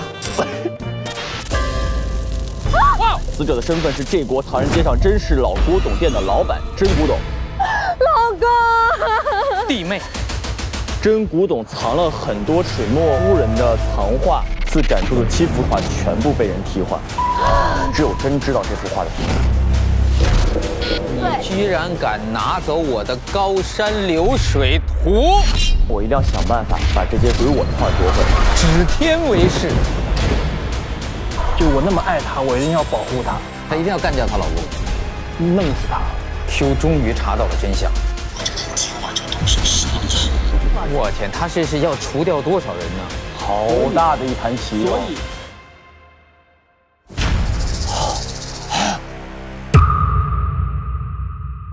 我们说偏见呢，它是一种无端的揣测，或者说是一种选择性的接受，像是戴上了一个有色眼镜来看这个事情哈，所以一切都失真了，没有客观的公正，是一种以偏概全，或者是一种先入之见，这个就是我们平常所说的偏见。